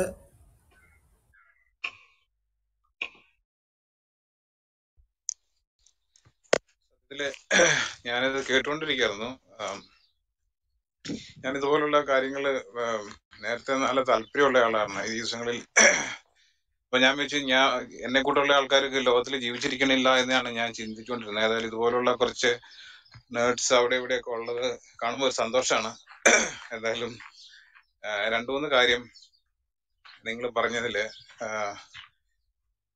അതായത് ഒരു പാരൽ ഹിസ്റ്ററി ഒരു പാരൽ സിറ്റി നമുക്ക് അതിന്റെ ഓരോ സിറ്റിയുടെ അടിയിൽ നിന്ന് കണ്ടുപിടിക്കാന്നുള്ള കാര്യം പറഞ്ഞത് നമ്മൾ കേട്ടു.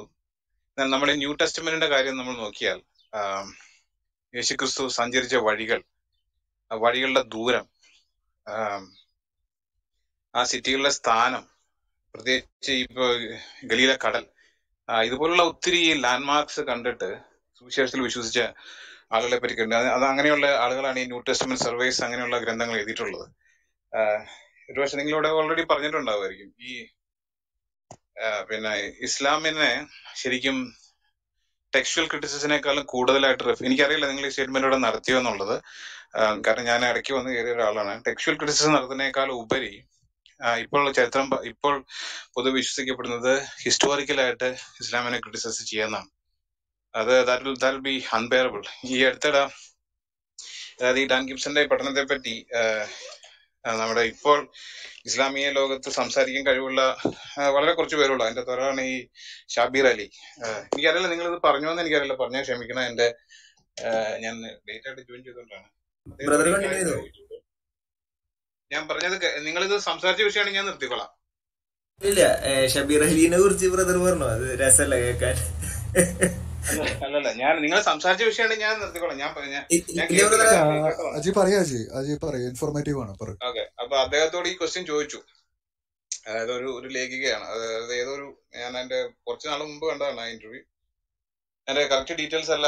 ആകസ്മികമായിട്ടാണ് ഞാൻ ഈ റൂമിൽ കടന്നു വന്നത്. അപ്പൊ അവർ അദ്ദേഹത്തോട് ചോദിച്ചു എന്താണ് ഈ ഇദ്ദേഹത്തിന്റെ സ്റ്റഡി ചെയ്ത് ഒത്തിരി റിപ്പർക്കഷൻസ് ഉണ്ടാക്കുമല്ലോ? അങ്ങനെ എങ്ങനെയാണെന്നുള്ള രീതിയിൽ ചോദിച്ചു കഴിഞ്ഞപ്പോ അദ്ദേഹം പറഞ്ഞ മറുപടി അത് വളരെ രസകരമാണ്. അത് ഒരു ചരിത്ര വിദ്യാർത്ഥിയെ സംബന്ധിച്ചോളം അത് ആബാസിസ്റ്റ് വളരെ കൃത്യമായിട്ട് പറഞ്ഞു. അതായത് നമ്മൾ ചരിത്രം തെളിവ് എന്നൊക്കെ പറയുമ്പോൾ അതിനൊരു വേറെ മാഗ്നിറ്റ്യൂഡാണ് അല്ല നമ്മൾ എന്ന് പറയുമ്പോൾ ഞാനൊരു സയന്റിസ്റ്റ് അല്ല പക്ഷെ ഇതിനോട് ബന്ധപ്പെട്ട് നിൽക്കുന്ന ഒരാളെന്ന നിലയിൽ. തെളിവ് എന്ന് പറഞ്ഞാൽ നമുക്കറിയാം എന്താ തെളിവ് എന്ന് ഉദ്ദേശിക്കുന്നത്. ചരിത്രം എന്ന് പറഞ്ഞാൽ എന്താന്ന് സാമാന്യ ബോധമുള്ള ആർക്കും മനസ്സിലാവുന്ന കാര്യമാണ്. അതിന് പി വേണമെന്ന് എന്നൊന്നും ഇല്ല. എന്നിരുന്നാൽ തന്നെ അദ്ദേഹത്തോട് ചോദിച്ച ചോദ്യത്തിന് മറുപടി പറഞ്ഞ വളരെ രസകരമാണ്. നിങ്ങൾ ആ വീഡിയോ എവിടെയെങ്കിലും ആരെങ്കിലും പിൻ ചെയ്യുകയാണെങ്കിൽ നിങ്ങളെ കാണണം. അദ്ദേഹം പറഞ്ഞത് ഒരു ഫ്രിഞ്ച് എലമെന്റ് ആണ് വിശ്വസിക്കുന്നത്. അല്ലെങ്കിൽ ഒരു ചെറിയ സ്റ്റഡി നടന്നതോടുകൂടി നമ്മൾ അത് പേടിക്കേണ്ട കാര്യമില്ല. അത് ഇസ്ലാമിക ലോകം മുഴുവൻ വിശ്വസിക്കുന്ന ഇതാണ് അതായത് സയന്റിഫിക് മെത്തേഡ് അവാസിസ് വളരെ കൃത്യമായിട്ട് പറഞ്ഞു സയന്റിഫിക് മെത്തേഡ് എന്താണെന്നുള്ളത് ഇപ്പൊ നമുക്കറിയാം. ഭൂമി ഉരുണ്ടതാണെന്ന് പറഞ്ഞപ്പോൾ ഒരു ചെറിയ സമൂഹമാണ്. അത് സയന്റിസ്റ്റ് എന്ന് പറഞ്ഞ ചെറിയ സമൂഹമാണ് ആദ്യം വിശ്വസിച്ചത്. പക്ഷെ അതിന്റെ അർത്ഥം അത് അതിന് വാലിഡിറ്റി ഇല്ല എന്നുള്ളതല്ല. ഇത് അദ്ദേഹം സയന്റിഫിക് മെത്തേഡ്സ് വെച്ച് ഇത് പ്രൂവ് ചെയ്യാൻ ശ്രമിച്ചപ്പോൾ അല്ലെങ്കിൽ അതിനുള്ള ഡേറ്റാസ് കൊണ്ടുവന്നു കഴിഞ്ഞപ്പോൾ ഈ ഇങ്ങനൊരു പട്ടണം അതായത് ഈ പട്ടണത്തിലെ ആരോ കൂടെ സൂചിപ്പിച്ചു മെക്ക പോലുള്ള പട്ടണത്തിൽ മൾട്ടി ബില്യൺ ഡോളേഴ്സിന്റെ ഇൻവെസ്റ്റ്മെന്റ് നടന്ന സമയത്ത് യാതൊരു വിധത്തിലുള്ള എന്താ പറയണേ അതിന്റെ ആർട്ടിഫാക്ട്സോ കാര്യങ്ങളോ ഒന്നും കിട്ടാതെ അത് വെറും ബാരൺ ആയിട്ടുള്ള ലാൻഡ് ആണെന്ന് തെളിയിച്ചു. മാത്രമല്ല സഫ മാർവ കുന്നിന്റെ കാര്യം ആരോടെ സംസാരിച്ചവരൊക്കെ തോന്നി. അതിന്റെയൊക്കെ എക്സാക്ട് ലൊക്കേഷൻ നിങ്ങൾ ആ വീഡിയോ ഒന്ന് കാണണം. എന്താ അതിന്റെ പേര് പറഞ്ഞത്? എന്താ ലോ സിറ്റി എന്ന് മറ്റു പറഞ്ഞാണ് അപ്പൊ അതിനകത്ത് അദ്ദേഹം പറയുന്ന ആ സഭാമാർവയുടെ അതും അതുപോലെ അവിടെ ബിൽഡിങ് അവിടുത്തെ മതിൽ. നിങ്ങൾ പറഞ്ഞത് ഓൾറെഡി പറഞ്ഞാണെങ്കിൽ എന്നോട് ക്ഷമിക്കണം. ആ ലൊക്കേഷൻ അവിടുത്തെ ഉണ്ടായിരുന്ന ഈ മുഹമ്മദ് യുദ്ധം ചെയ്യാൻ വരുന്ന സമയത്തുണ്ടായിരുന്ന പിന്നെ ആ ബിൽ എന്താ പറയുക ഒരു സൈഡിൽ വാൾ ഇല്ലാത്ത അവസ്ഥ. ഞാൻ എനിക്ക് അറിയില്ല ഖുറാന്റെ ആ വാക്യങ്ങളൊന്നും പക്ഷെ എന്നാലും ഞാൻ ആ വീഡിയോ കുറെ മാസം മുമ്പ് കട്ടതിന്റെ ഓർമ്മയിൽ പറയാം. ഇതുപോലുള്ള കാര്യങ്ങളെല്ലാം വളരെ കൃത്യമായിട്ട് അതുപോലെ ഈ രണ്ട് പാതകൾ തമ്മിൽ ബന്ധിപ്പിക്കുന്ന ആ ഒരു ഒരു വഴി പോലുള്ള സ്ഥലം അതിൽ കൂടെ വെള്ളം ഒഴുകുന്ന സ്ഥലം ഇതെല്ലാം കറക്റ്റ് ആയിട്ട് പെട്ടതിൽ വെക്കുന്നൊന്നുമില്ല അപ്പൊ അതുകൊണ്ട് സത്യത്തിൽ അതൊരു റെവല്യൂഷണറി ആയിട്ടുള്ള ഒരു തിങ്കിങ് ആണ്. അതായത് ചുരുക്കി പറഞ്ഞാൽ ഇത്രയും നാൾ പ്രാർത്ഥിച്ചു വന്ന സ്ഥലം പോലും അതാണ് ഞാൻ പറയുന്നത്. അതായത് ഈ ടെക്സ്ച്വൽ ക്രിറ്റിസിസിന്റെ മുകളിൽ നിൽക്കുന്നതാണ് വാസ്തവത്തിൽ ഹിസ്റ്റോറിക്കൽ ക്രിറ്റിസിസം അത് അത് മനസ്സിലാക്കിയാൽ അത് സയന്റിഫിക് മെത്തേഡ് അറിയാവുന്ന ആളുകൾ അത് അത് സത്യത്തിൽ it's a ground breaking research ആണ്. പക്ഷെ അത് പല പല കാരണങ്ങൾ കൊണ്ട് അത് ഇതുവരെ ഹൈലൈറ്റ് ചെയ്യപ്പെട്ടിട്ടില്ല. അഥവാ ഹൈലൈറ്റ് ചെയ്യാൻ ആരും താല്പര്യപ്പെടുന്നില്ല. കാരണം due to the economic consequences of that അതുപോലെ തന്നെ വേറൊരു സാധനം രണ്ടായിരത്തി ഏഴ് രണ്ടായിരത്തിൽ പബ്ലിഷ് ചെയ്യപ്പെട്ടുള്ള വേറൊരു സ്റ്റഡി ഉണ്ട്. പല സംഭവിക്കുന്നത് എന്താണെന്ന് വെച്ചാൽ ഈ ക്ലബ് ഹൗസ് ഒക്കെ വരുന്നതിന് മുമ്പ് ഇതുപോലെ സ്റ്റഡികൾ നടന്നിട്ടുണ്ട്. നല്ല റിസൾട്ടും ഉണ്ട് അതിന്. പല പല ഗ്രൗണ്ട് ബ്രേക്കിംഗ് ആയിട്ടുള്ള ട്രൂത്ത്സും വരുന്നുണ്ട്. പക്ഷെ ഇത് ഈ ജനങ്ങൾ മാസമായിട്ടുള്ള ജനങ്ങളുടെ ഇടയിലേക്ക് ഈ സ്റ്റഡികൾ വരുന്നില്ല എന്നുള്ളതാണ്. അപ്പൊ ഈ ക്ലബ് ഹൗസ് പോലുള്ള ചർച്ചകളിൽ ഫോറങ്ങളിൽ അത് ആ സോഴ്സിൽ വെച്ച് തന്നെ അതിന്റെ ക്രെഡിബിലിറ്റി ക്വസ്റ്റ്യൻ ചെയ്യപ്പെടുന്നു. ആ സോഴ്സിൽ വെച്ച് തന്നെ നമുക്ക് അതിനെ ആൻസർ ചെയ്യാൻ പറ്റുന്നു എന്നുള്ളത് അത് വളരെ പവർഫുൾ ആണ്. ഒരു പക്ഷേ ഞാൻ ആദ്യം പല പ്രാവശ്യം പറഞ്ഞിട്ടുള്ളൂ ഒരു ടി വി സ്റ്റേഷൻ ചെയ്യാൻ കഴിയുന്ന കാര്യങ്ങൾ ഒരു റേഡിയോ സ്റ്റേഷൻ ചെയ്യാൻ കഴിയുന്ന കാര്യങ്ങൾ ഒരു സാധാരണക്കാരായ നമുക്ക് ചെയ്യാൻ പറ്റുന്നു എന്നുള്ളതാണ് ഇതിന്റെ സ്റ്റഡി അത് ഇതിന്റെ ഒരു ഗുണം. അപ്പൊ ഈ സ്റ്റഡികൾ ഇപ്പൊ ഒരു I think some people are working on it നമ്മൾ അത് അതും കൊണ്ടുവരും. അത് ദാറ്റ്സ് ആക്ച്വലി റിയലി ഫണി നമ്മൾ ഖുറാന്റെ അതായത് അത് അതാണ് അടുത്ത. ഖുറാന്റെ ഓൺ എക്സിസ്റ്റൻസിനെ പറ്റിയുള്ള വളരെ രസകരമായ ഒരു സ്റ്റഡി വരാൻ പോവുകയാണ്. അത് ഓൾറെഡി പബ്ലിഷ്ഡ് ആയി. അത് നമ്മുടെ നമ്മുടെ ഈ പാർട്ട് ഓഫ് ദ വേൾഡിൽ അതുവരെ വന്നിട്ടില്ല. ഇറ്റ്സ് ആക്ച്വലി റിയലി ഫണി അപ്പൊ അതും അതും കൂടെ വന്നു കഴിയുമ്പോൾ അതും ഇതിന്റെ ഹിസ്റ്റോറിസിറ്റി ഓഫ് ഇതൊന്നും പിന്നെ പലരും പറഞ്ഞ പോലെ ഓറിയന്റിസ്റ്റുകളുടെ കണ്ടുപിടുത്തല്ല. ഇതെല്ലാം വളരെ എന്താ പറയണേ സ്റ്റഡിയും അത് പിന്നെ പിയർ റിവ്യൂഡ് ആയിട്ടുള്ള പല കാര്യങ്ങളും ഒക്കെ അതിന്റെ പുറകിലുണ്ട്. അത് വന്നുകൊണ്ടിരിക്കുകയാണ്. അതായത് ഹിസ്റ്റോറിസിറ്റി ഓഫ് ഇസ്ലാം എന്നുള്ളത് ആണ് കൂടുതലായിട്ട്. കാരണം ഈ ടെക്സ്റ്റുവൽ ക്രിറ്റിസിസം നമ്മൾ എത്ര ചെയ്താലും അതൊരു അതിനകത്തൊരു ഒരു വിശ്വാസത്തിന്റെ ഒരു എലമെന്റ് ഉണ്ട്. നമുക്ക് അതിനെ ക്വസ്റ്റ്യൻ ചെയ്യാനേ പറ്റില്ല. എത്രയൊക്കെ പറഞ്ഞാലും ഒക്കെ നമ്മുടെ വിശ്വാസങ്ങളാണ് ഞങ്ങളുടെ വിശ്വാസങ്ങളാണെന്ന് പറയാം. പക്ഷേ ഹിസ്റ്റോറിക്കലി നമ്മൾ അതിനെ റെഫ്യൂട്ട് ചെയ്ത് കഴിഞ്ഞാൽ ദാറ്റ്സ് എന്താ പറയുക അത് it doesn't hold much ground അപ്പൊ അതുകൊണ്ടാണ് ഇതുപോലുള്ള കാര്യങ്ങൾക്ക് എന്തുകൊണ്ടാണ് ഇവിടെ ഒരു ക്രൗഡ് ഉണ്ടാവുന്നത് എനിക്ക് മനസ്സിലാകുന്നത് because these are ground breaking things you guys and I appreciate what you guys are കാരണം ഇത് മനസ്സിലാക്കാതെയാണ് പലരും ഇപ്പൊ ഈ നമ്മളെ ടെക്സ്റ്റൽ ക്രിറ്റിസിസം എന്ന് പറഞ്ഞാൽ നമുക്കറിയാലോ ഒരു ഗ്രന്ഥത്തിൽ ഒരു തെറ്റ് വന്നു അല്ലെങ്കിൽ ചെറിയൊരു തെറ്റ് അവിടെ ഇവിടെ ചെറുതൊന്നല്ല ഞാൻ പറയണത് ഫോർ ആർഗ്യുമെന്റ്സ് തെറ്റ് വന്നു. അത് ഓക്കെ ഫെയർ ഫെയർ ഉണ്ട് അണ്ടർസ്റ്റാൻഡബിൾ നമുക്ക് പറയാം ബൈബിളിൽ തെറ്റുണ്ടെന്ന് for argument sake I don't believe it for argument sake നമുക്ക് പറയാം പക്ഷേ ഹിസ്റ്റോറിസിറ്റി ഉള്ളത് entire story if it's a build up that's poses some serious questions guys so അതാണ് നിങ്ങളിവിടെ ചെയ്തുകൊണ്ടിരിക്കുന്നത്. I do how many how many of the people are getting the ideas but അതുകൊണ്ടാണ് ഇതുപോലുള്ള studies ഇതുപോലുള്ള റിസർച്ചുകളും ഇതുപോലുള്ള സെഷൻസും നമുക്ക് ഇൻട്രസ്റ്റിംഗ് ആയിട്ടുള്ളത്. ആഹ് അതിനും സംസാരിക്കാൻ അവസരം നൽകിയതിന് നന്ദി. ഞാൻ ഇതിനെപ്പറ്റി പ്രൈമറി അറിവാണ് എനിക്കുള്ളത്. പക്ഷേ അത് വളരെ ഇൻട്രസ്റ്റിംഗ് ആയിട്ട് തോന്നി. നിങ്ങളൊക്കെ നന്നായിട്ട് സപ്ലിമെന്റ് ചെയ്തു. ഐ തിങ്ക് ഒത്തിരി ഹാർഡ് വർക്ക് അതിന്റെ പുറകിലുണ്ട്. അപ്രീഷിയേറ്റ് ഓൾ താങ്ക്സ്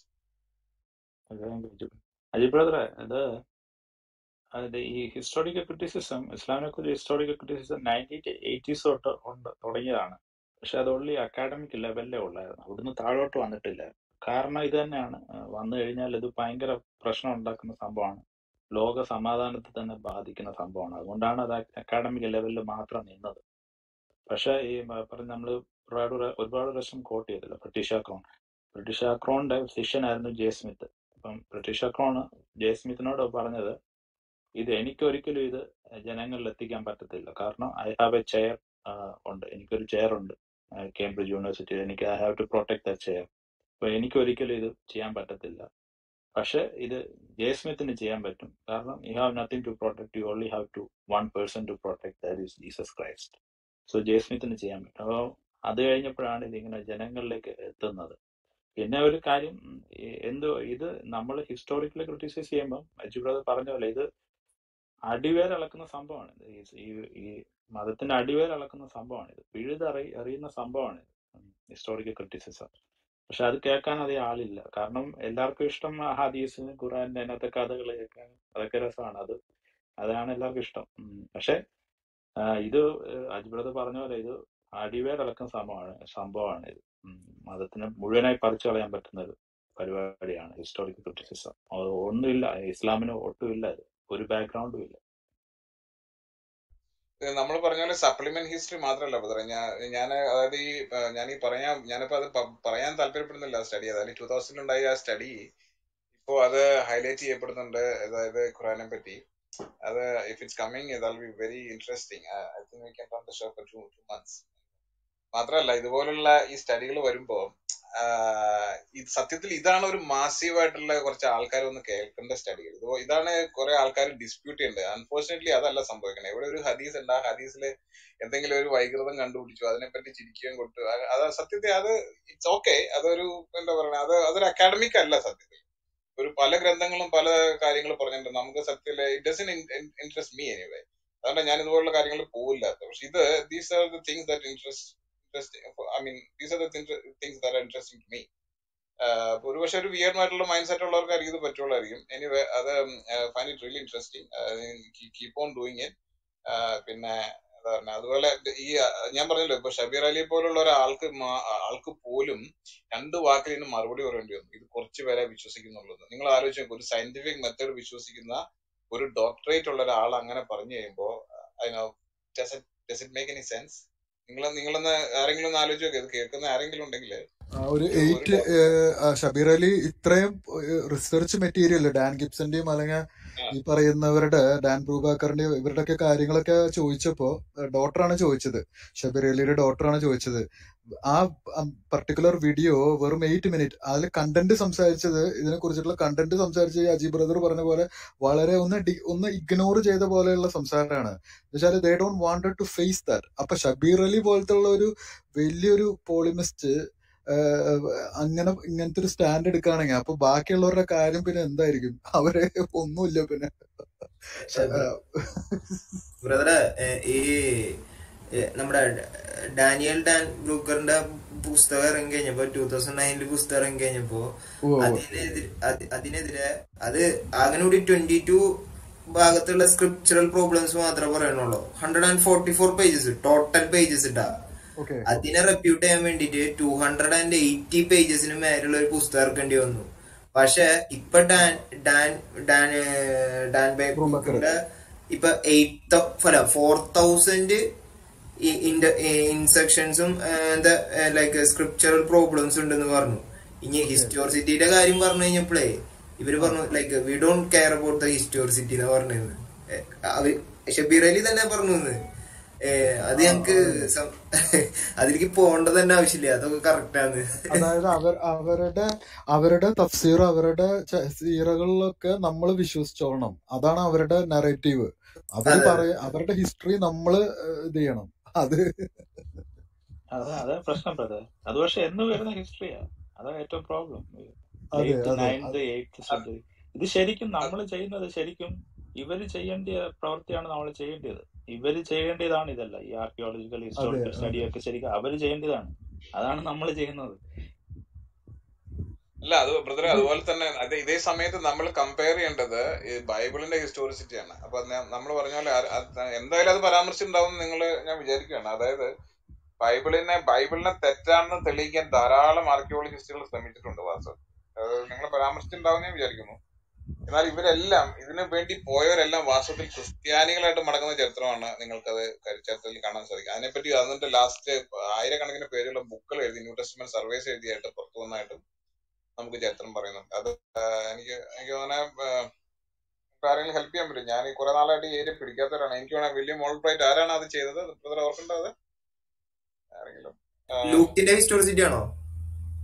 ലൂക്കിന്റെ അല്ലേ? എന്റെ ബൈബിളിന്റെ ഐ തിങ്ക് ആരുടെ news survey of the New Testament എന്ന് പറഞ്ഞത് വില്യം ഓൾബ്രൈറ്റ് അല്ലേ? മറന്നുപോയി.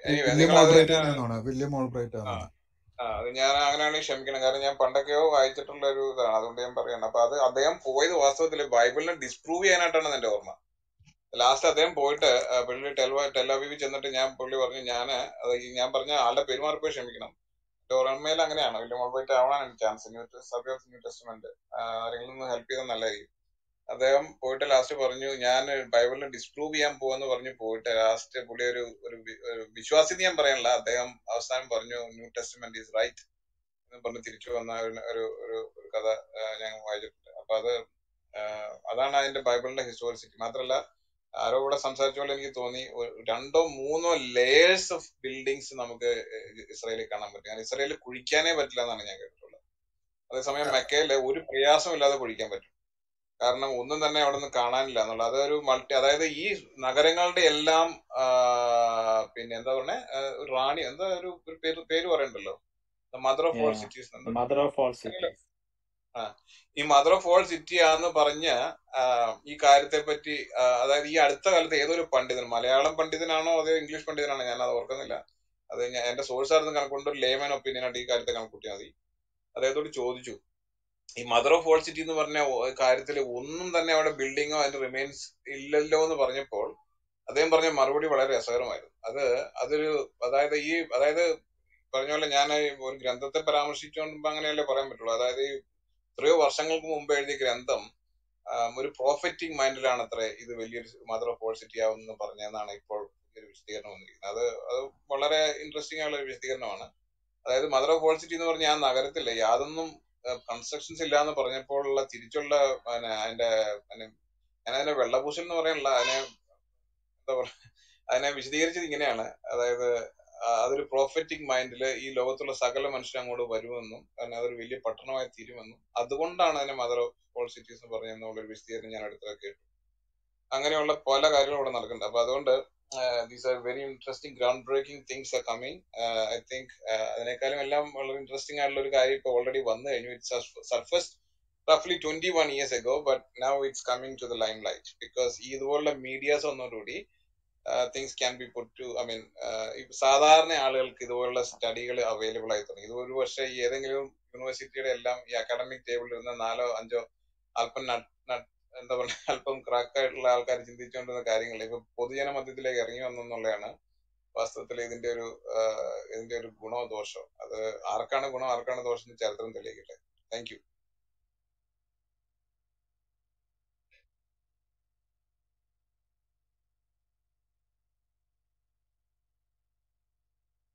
തീർച്ചയായും പറയാം അത് ഇതിപ്പം ഇസ്രായേൽ പ്രത്യേകിച്ച് ജെറുസലേമിലൊക്കെ നമ്മൾ വീട്ടിലൊരു കക്കൂസിന്റെ കൂടി കുളിക്കണമെങ്കിൽ തന്നെ അവിടെ ആർക്കിയോളജി ഡിപ്പാർട്ട്മെന്റ് നാൾ പ്രസന്റ് ആയിരിക്കണം. അതാണ് ഇസ്രായേലിലെ ഈജിപ്തിലും ഈജിപ്തിലും അങ്ങനെ. ആന്റിക്വിറ്റി അതോറിറ്റിയിൽ നിന്നും ആർക്കിയോളജിയിൽ ആൾ വരണം. എന്തെങ്കിലും ചെയ്യണമെങ്കിൽ. പക്ഷെ നിങ്ങൾ മെക്കയിൽ നോക്ക്.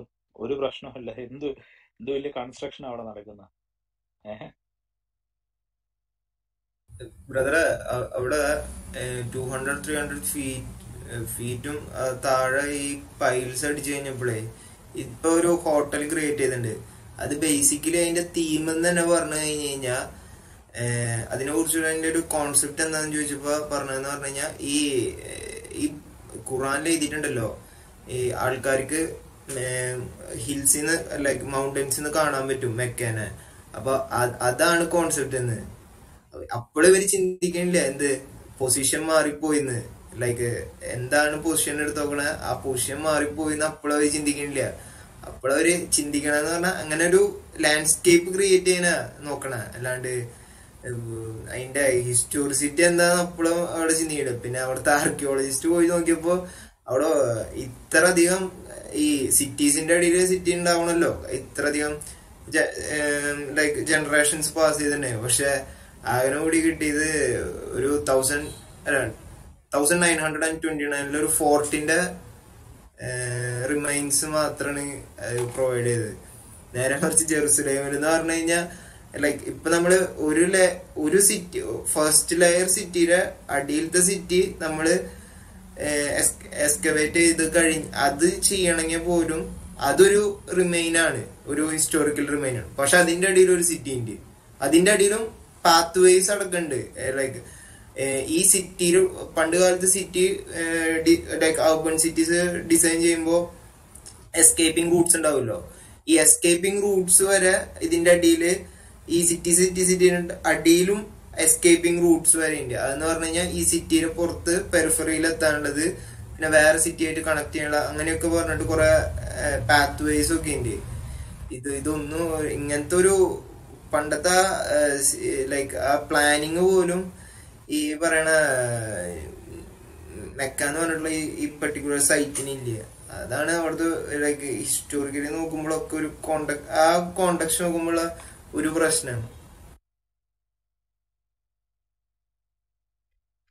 അവർക്ക് മുന്നോട്ട് പോകാനുള്ള ഒരു ത്വര ഇല്ലായിരുന്നു ബ്രദറെ. കാരണം അവർക്ക് ആ ഒരു ഗോത്ര സംസ്കൃതിയിൽ തന്നെ ചുറ്റിപ്പറ്റി ആ ഗോത്രത്തിൽ തന്നെ ആ ഒരു പൊട്ടക്കന്റെ ആ തവളകൾ തന്നെ ആയാൽ മതിയായിരുന്നു. മുന്നോട്ടല്ലല്ലോ. മനുഷ്യ വംശം മുന്നോട്ടല്ലേ കുതിക്കേണ്ടത്. മുന്നോട്ടല്ല.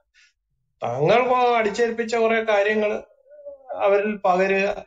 അതിനെ മുറുകെ പിടിച്ചുകൊണ്ട് മുന്നോട്ട് പോവുക. കാരണം ഞാനാണ് ഏറ്റവും വലുത്. ഞാൻ പറയുന്ന എല്ലാരും കേട്ടോളാം. ഒരു ടോട്ടലിറ്റേറിയനിസം എന്ന് തന്നെ നമുക്ക് പറയാം. പക്ഷെ ഏറ്റവും വലിയ ദുരന്തം എന്ന് പറയുന്നത് ഇപ്പൊ ഹിറ്റ്ലറെ പോലോ അല്ലെങ്കിൽ ജോസഫ് സ്റ്റാലിനോ അതുപോലെ മുസോളിനിയോ അവരൊക്കെ ഒരു ഓട്ടോക്രാറ്റ്സ് ഒരു കാലഘട്ടം വരെ ഉള്ളായിരുന്നു അവരുടെ ആ ഒരു ചിന്താഗതി അവർ പറഞ്ഞെങ്കിലും എത്ര പേര് ഫോളോ ചെയ്യാനുണ്ടായിരുന്നു. പക്ഷെ ഇതല്ല ഇത് വളരെ വിദഗ്ധമായിട്ട് ഇത് ദ ഓൾമൈറ്റി ഇറക്കി തന്ന സാധനമായതുകൊണ്ട് അതെല്ലാവരും അവസാനം വരെ ഉള്ള കാര്യം ആയതുകൊണ്ട് ഫോളോ ചെയ്യണമെന്ന് പറഞ്ഞ് ആ ഭയത്തിന്റെ ഏതോ ഒരു അദൃശ്യ ശക്തി നിങ്ങളെ അല്ലെങ്കിൽ തകർത്ത് കളയും നിങ്ങളെ തീക്കകത്ത് എണ്ണയ്ക്കകത്തിട്ട് പൊരിച്ച് മുക്കി തകർത്ത് നശിപ്പിച്ച് കളയുമെന്നുള്ള ഒരു ഭയം മനുഷ്യന്റെ ഉള്ളിൽ ഒരു സൈക്കോളജിക്കൽ ഒരു അപ്രോച്ച് അത്. അപ്പം അതിനെ ബേസ് ചെയ്തുകൊണ്ട് അവർ സക്സീഡ് ചെയ്തു അവരിപ്പോഴും തുടരുന്നു. പക്ഷേ എത്ര കാലം എല്ലാ കാലത്തും ഇന്ന് ആ സമൂഹത്തിൽ തന്നെ പ്രത്യേകിച്ച് അറബ് വേൾഡിൽ തന്നെ മാറ്റം ഇല്ലെന്ന് നമുക്ക് പറയാൻ പറ്റത്തില്ല. കാരണം പടിഞ്ഞാറൻ നാടുകളിലൊക്കെ നല്ല പോയി എഡ്യൂക്കേറ്റഡ് ആയ പലരും ഒന്നുകിൽ അവർ വളരെ മിതവാദത്തിലേക്ക് മാറുന്നു അല്ലെങ്കിൽ അവർ ഉപേക്ഷിക്കുന്നു. അവർക്കൊന്നും ഇതിലും വലിയ ഈ ഓർത്തഡോക്സ് ചിന്താഗതിയൊന്നും അവർ ഫോളോ ചെയ്യുന്നില്ല. കാരണം അങ്ങനെ അതേ കാലങ്ങൾ ആ ഹദീസുകളൊക്കെ ഫോളോ ചെയ്ത് മുന്നോട്ട് പോകണമെന്നുണ്ടും അവർക്ക് വലിയ താല്പര്യമൊന്നുമില്ല. അപ്പോൾ പിന്നെ ഇത് ഈ പാട്രിയാർക്കിയുടെ പ്രത്യേകിച്ച് ഈ പൗരോഹിത്യത്തിന്റെ ഒരു പ്രശ്നമാണ് അവർക്ക് ഈ വേർപ്പ് ചിന്താതെ ജീവിക്കണം. അപ്പോൾ ഇങ്ങനൊക്കെ തന്നെ പോയെങ്കിൽ അവരുടെ വയറ്റിപ്പിഴപ്പ് മുട്ടാതിരിക്കുകയുള്ളൂ. അല്ല ഇത് നമ്മൾ ജസ്റ്റ് തുടങ്ങിയുള്ളൂ. ഇത് ഖുറാൻ അല്ല ഇത് മെക്ക മാത്രമായിട്ടുള്ളൂ പിന്നെ ഇനി ഒത്തിരി ഉണ്ട്. ഇനിയിപ്പം ഇതുണ്ട്. ടെക്സ്റ്റൽ ക്രിറ്റിസിസം ഉണ്ട്. അതായത് ഖുറാനകത്തുള്ള അറബിക്ക് ഉണ്ട്. അത് ഏത് അറബിക്കാണ് അത് നോർത്ത് ആണോ സൗത്ത് ആണോ അന്നത്തെ ഇതുണ്ട് ലിപികളുണ്ട് ഖുറാന്റെ ലിപികളുണ്ട്. ഇതെല്ലാം ഉണ്ട്. പിന്നെ ഖുറാൻ സ്റ്റോറീസ് ഉണ്ട്. ഖുറാനകത്ത് വരുന്ന സ്റ്റോറീസ് നമുക്ക് അതിനു മുമ്പ് തേർഡും സെക്കൻഡ് സെഞ്ചുറിയിലെ ബുക്കുകളിൽ നമുക്ക് കോട്ട് ചെയ്യാൻ പറ്റും.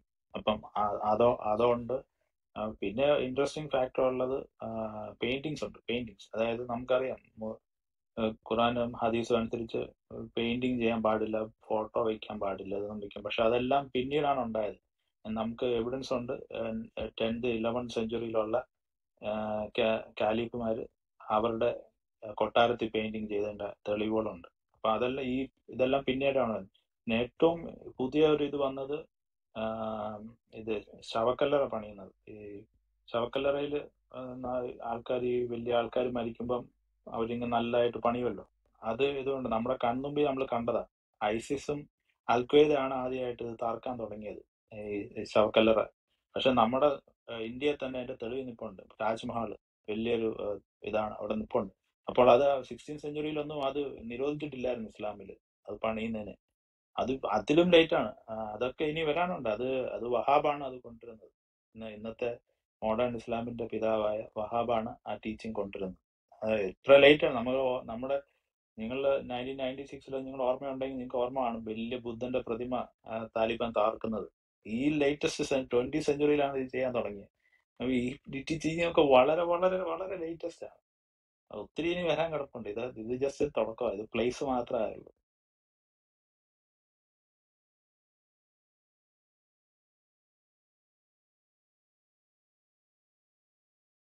എബ്രാഹിം ബ്രദറെ നമുക്ക് റൂമിന്റെ ചെയ്താലോ? ബ്രദർ ഗിബോൾ ബ്രദർ പോയോ? എനിക്കൊരു കാര്യം പറയാനുണ്ട്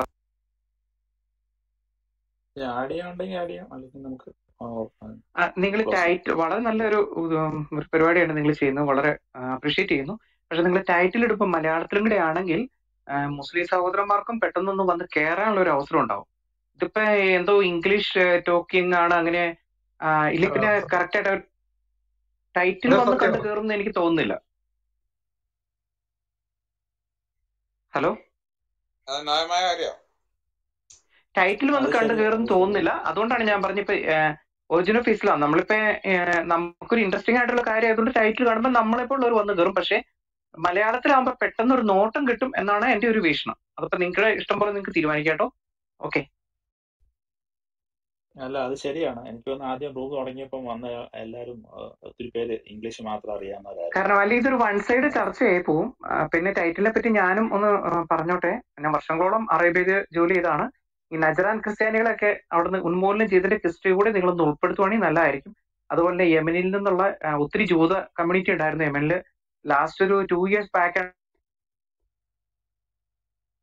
അതിനെ പറ്റിയും ഉള്ള കാര്യം. പിന്നെ ഇന്ന് വളരെ വളരെ വളരെ ഇൻട്രസ്റ്റിംഗ് ആയിട്ടുള്ള ഒരു ന്യൂസ് വന്നിട്ടുണ്ട് സൗദി അറേബ്യയിൽ എക്സ്ട്രീം ഇസ്ലാമിസത്തിന്റെ കേന്ദ്രമായ അതിന്റെ നമ്മുടെ നാട്ടിലൊക്കെ വളരെ പ്രാചാര പ്രാധാന്യത്തിലുള്ള നമ്മുടെ തബ്ലിക് ജമാഅത്ത് അത് അതിനെ സൗദി ഗവൺമെന്റ് ബാൻ ചെയ്തു. ഓക്കെ? അതിനെപ്പറ്റി ഒരു ചർച്ച നിങ്ങൾ ഇടാമെങ്കിൽ വളരെ നല്ലതായിരിക്കും. തബ്ലിക് ജമാഅത്ത് ടെററിസത്തിലേക്കുള്ള ഒരു ചവിട്ടുപടിയാണ് കേരളത്തിൽ വളരെയധികം പ്രചാരത്തിലുള്ള ഒരു ഒരു കമ്മ്യൂണിറ്റിയാണ് അവരെ. അതിനെ സൗദി ഗവൺമെന്റ് ബാൻ ചെയ്തു ടെററിസ്റ്റ് ഗ്രൂപ്പിൽ പെടുത്തി കളഞ്ഞു. Okay thank you okay thank you informative ആയിരുന്നു കേട്ടോ Shaji. Shaji bro thank you അല്ല പിന്നെ ഒരു കാര്യം ഒരു കാര്യം കൂടെ പറഞ്ഞിട്ട് നമ്മളൊരു ഡിസ്കഷൻ ആകുമ്പോൾ എല്ലാവർക്കും അവസരം കൊടുക്കുവാണെങ്കിൽ നല്ലതായിരിക്കും. പി ടി ആർ ഓർഡറിലൊക്കെ പോയി എല്ലാവർക്കും ഒന്ന് ഒന്നും മിണ്ടാതെ കാൻട്രൈസ് ചെയ്ത് കയറി വന്നിരിക്കില്ലോ അപ്പൊ എല്ലാവർക്കും സംസാരിക്കാനുള്ള അവസരം കൊടുക്കുകയാണെങ്കിൽ നല്ലതായിരിക്കും. ഓക്കെ താങ്ക് യു ഷാജി തന്നെ വേറെ എന്തെങ്കിലും പറയാണ്ടേ പറഞ്ഞോട്ടോ. അത് ആ, പിന്നെ ഒരു കാര്യം കൂടെ പറയാനുണ്ട്. ഞാൻ ഇവരെ കറക്റ്റ് ആയിട്ട് വാച്ച് ചെയ്യുന്നതാണ്. ഞാൻ ഒരു പതിമൂന്ന് വർഷത്തോളം സൗദി അറേബ്യയിൽ ഉണ്ടായിരുന്നതാണ്. അപ്പൊ എനിക്ക് കോപ്റ്റിക് ഓർത്തഡോക്സ് അച്ഛന്മാര് അതുപോലെ തന്നെ നജറാനിലുള്ള നജറാനിലുള്ള അറബീസ് അതുപോലെ തന്നെ പിന്നെ സിറിയയിൽ നിന്നുള്ള കുറച്ച് ക്രിസ്ത്യൻസ് പിന്നെ എനിക്കൊരു വേറൊരു പരിചയക്കാരൻ എന്റെ എക്സ്പീരിയൻസ് ആണ് ഞാൻ പറയുന്നത് അതുപോലെ തന്നെ ജോർദാനിലുള്ള ഒരു ബിഷപ്പിന്റെ ഒരു അനിയൻ ഇവരൊക്കെ ആയിട്ട് വർക്ക് ചെയ്യാനായിട്ട് വന്നിട്ടുണ്ട്. അപ്പൊ ഇവരിൽ നിന്നൊക്കെ ഉള്ള കാര്യങ്ങളൊക്കെ കേട്ടത് അവിടെ നിന്നൊക്കെ ഇസ്ലാം തുടച്ചു നീക്കപ്പെട്ട കാര്യങ്ങൾ ഇതിനെ പറ്റിയൊക്കെ നിങ്ങൾ ഇടുകയാണെങ്കിൽ നല്ലതായിരിക്കും. അടുത്തുള്ള ദിവസങ്ങൾ പക്ഷേ ടൈറ്റിൽ മലയാളത്തിലാണെങ്കിൽ നമ്മുടെ ഇവിടെയുള്ള ജിഹാദി സഹോദരന്മാർക്ക് ഒന്ന് കയറാനുള്ള ഒരു അവസരം നിങ്ങൾ ഉണ്ടാക്കി കൊടുക്കണമെന്ന് ഞാൻ അപേക്ഷിക്കുന്നു. താങ്ക് യു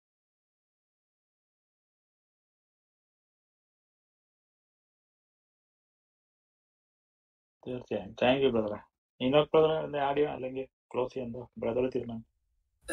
അത് ശരിയാ. നമ്മൾ ടൈറ്റിൽ എനിക്കറിഞ്ഞൂടെ എങ്ങനെ ഇതൊക്കെ ഇങ്ങനെ വന്ന്. ഓക്കെ ഫൈൻ നെക്സ്റ്റ് ടൈം എന്തായാലും മലയാളത്തിലായിരിക്കും ടൈറ്റിൽ പിന്നെ ഇത് പോയിന്റ്സ് വളരെ ഇൻഫോർമേറ്റീവ് ആണ്. ഈ ഇവർ ഇവിടെ കേരളത്തിലുണ്ട്. സൗദിയിൽ ബാൻ ചെയ്തു.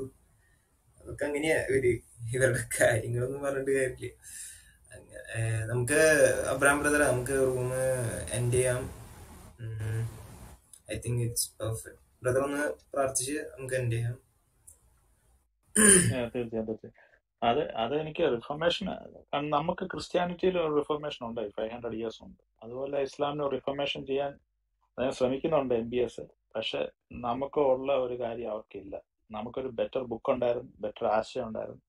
ബെറ്റർ ജീസസ് ക്രൈസ്റ്റ് ഉണ്ട്. ഇത് അവർക്കില്ല. സോ ഇസ്ലാമിന്റെ നമ്മുടെ റിഫോർമേഷൻ എന്ന് പറഞ്ഞാൽ going back to the book going back to the man അവരുടെ റിഫോർമേഷൻ എന്ന് പറഞ്ഞാൽ അത് തന്നെ going back to the book going back to the man പക്ഷെ അത് മനുഷ്യരെ സെവൻത് സെഞ്ചുറിയിൽ കൊണ്ടെത്തിക്കാൻ പറ്റത്തുള്ളൂ. അതല്ലാത്തൊരു റിഫോർമേഷൻ അദ്ദേഹത്തിന്റെ ജീവൻ എടുത്തുകൊണ്ട് അത് നിൽക്കത്തുള്ളൂ എന്നാ എനിക്ക് അതിനകത്ത് പറയാനുള്ള ഞാൻ അപ്പം ഒരു വാക്ക് പ്രാർത്ഥിക്കും. സ്നേഹനശ്രീ നല്ല പിതാവ് നല്ല സാഹസം നന്ദിയോടെ സ്തുതിക്കുന്നവരെ. ഇത്രത്തോളം സന്നിധി ദൈവം ഞങ്ങൾ പല കാര്യങ്ങളും സംസാരിക്കാനിടയായി ഇവിടെ കടന്നു വന്ന എല്ലാവരും അവിടെ സന്നിധി പ്രാർത്ഥിക്കുന്നവർ ഞങ്ങൾ സംസാരിച്ച കാര്യങ്ങൾ എല്ലാവർക്കും മനസ്സിലാക്കുവാൻ അവിടെ നിരയാക്കിയനായ സ്തോത്രം. ഇസ്ലാമിനെ കുറിച്ചുള്ള ഹിസ്റ്റോറിക്കൽ സ്റ്റഡിയും മറ്റു എവിഡൻസും ദൈവം അത് എവിഡൻസ് ആയിരിക്കുന്ന പോലെ തന്നെ ഫോളോ ചെയ്യുവാൻ അത് പഠിക്കുവാൻ ഞങ്ങൾ ഇടയാക്കിയനായി അവിടുത്തെ നാമത്തെ ഞങ്ങൾ സ്തുതിക്കുന്നു. വീണ്ടും അവിടുത്തെ സന്നിധിയിൽ ദൈവമേ അവിടുത്തെ പാത പിൻപറ്റുവാൻ ഞങ്ങളെ ഓരോരുത്തരെയും അവിടുന്ന് സഹായിക്കണമെന്ന് പ്രാർത്ഥിക്കുന്നു. ദൈവനാമത്തിന് ഇടയാക്കിയനായ സ്തോത്രം. യേശുവിൻ നാമത്തന്നെ ആമേൻ. Amen.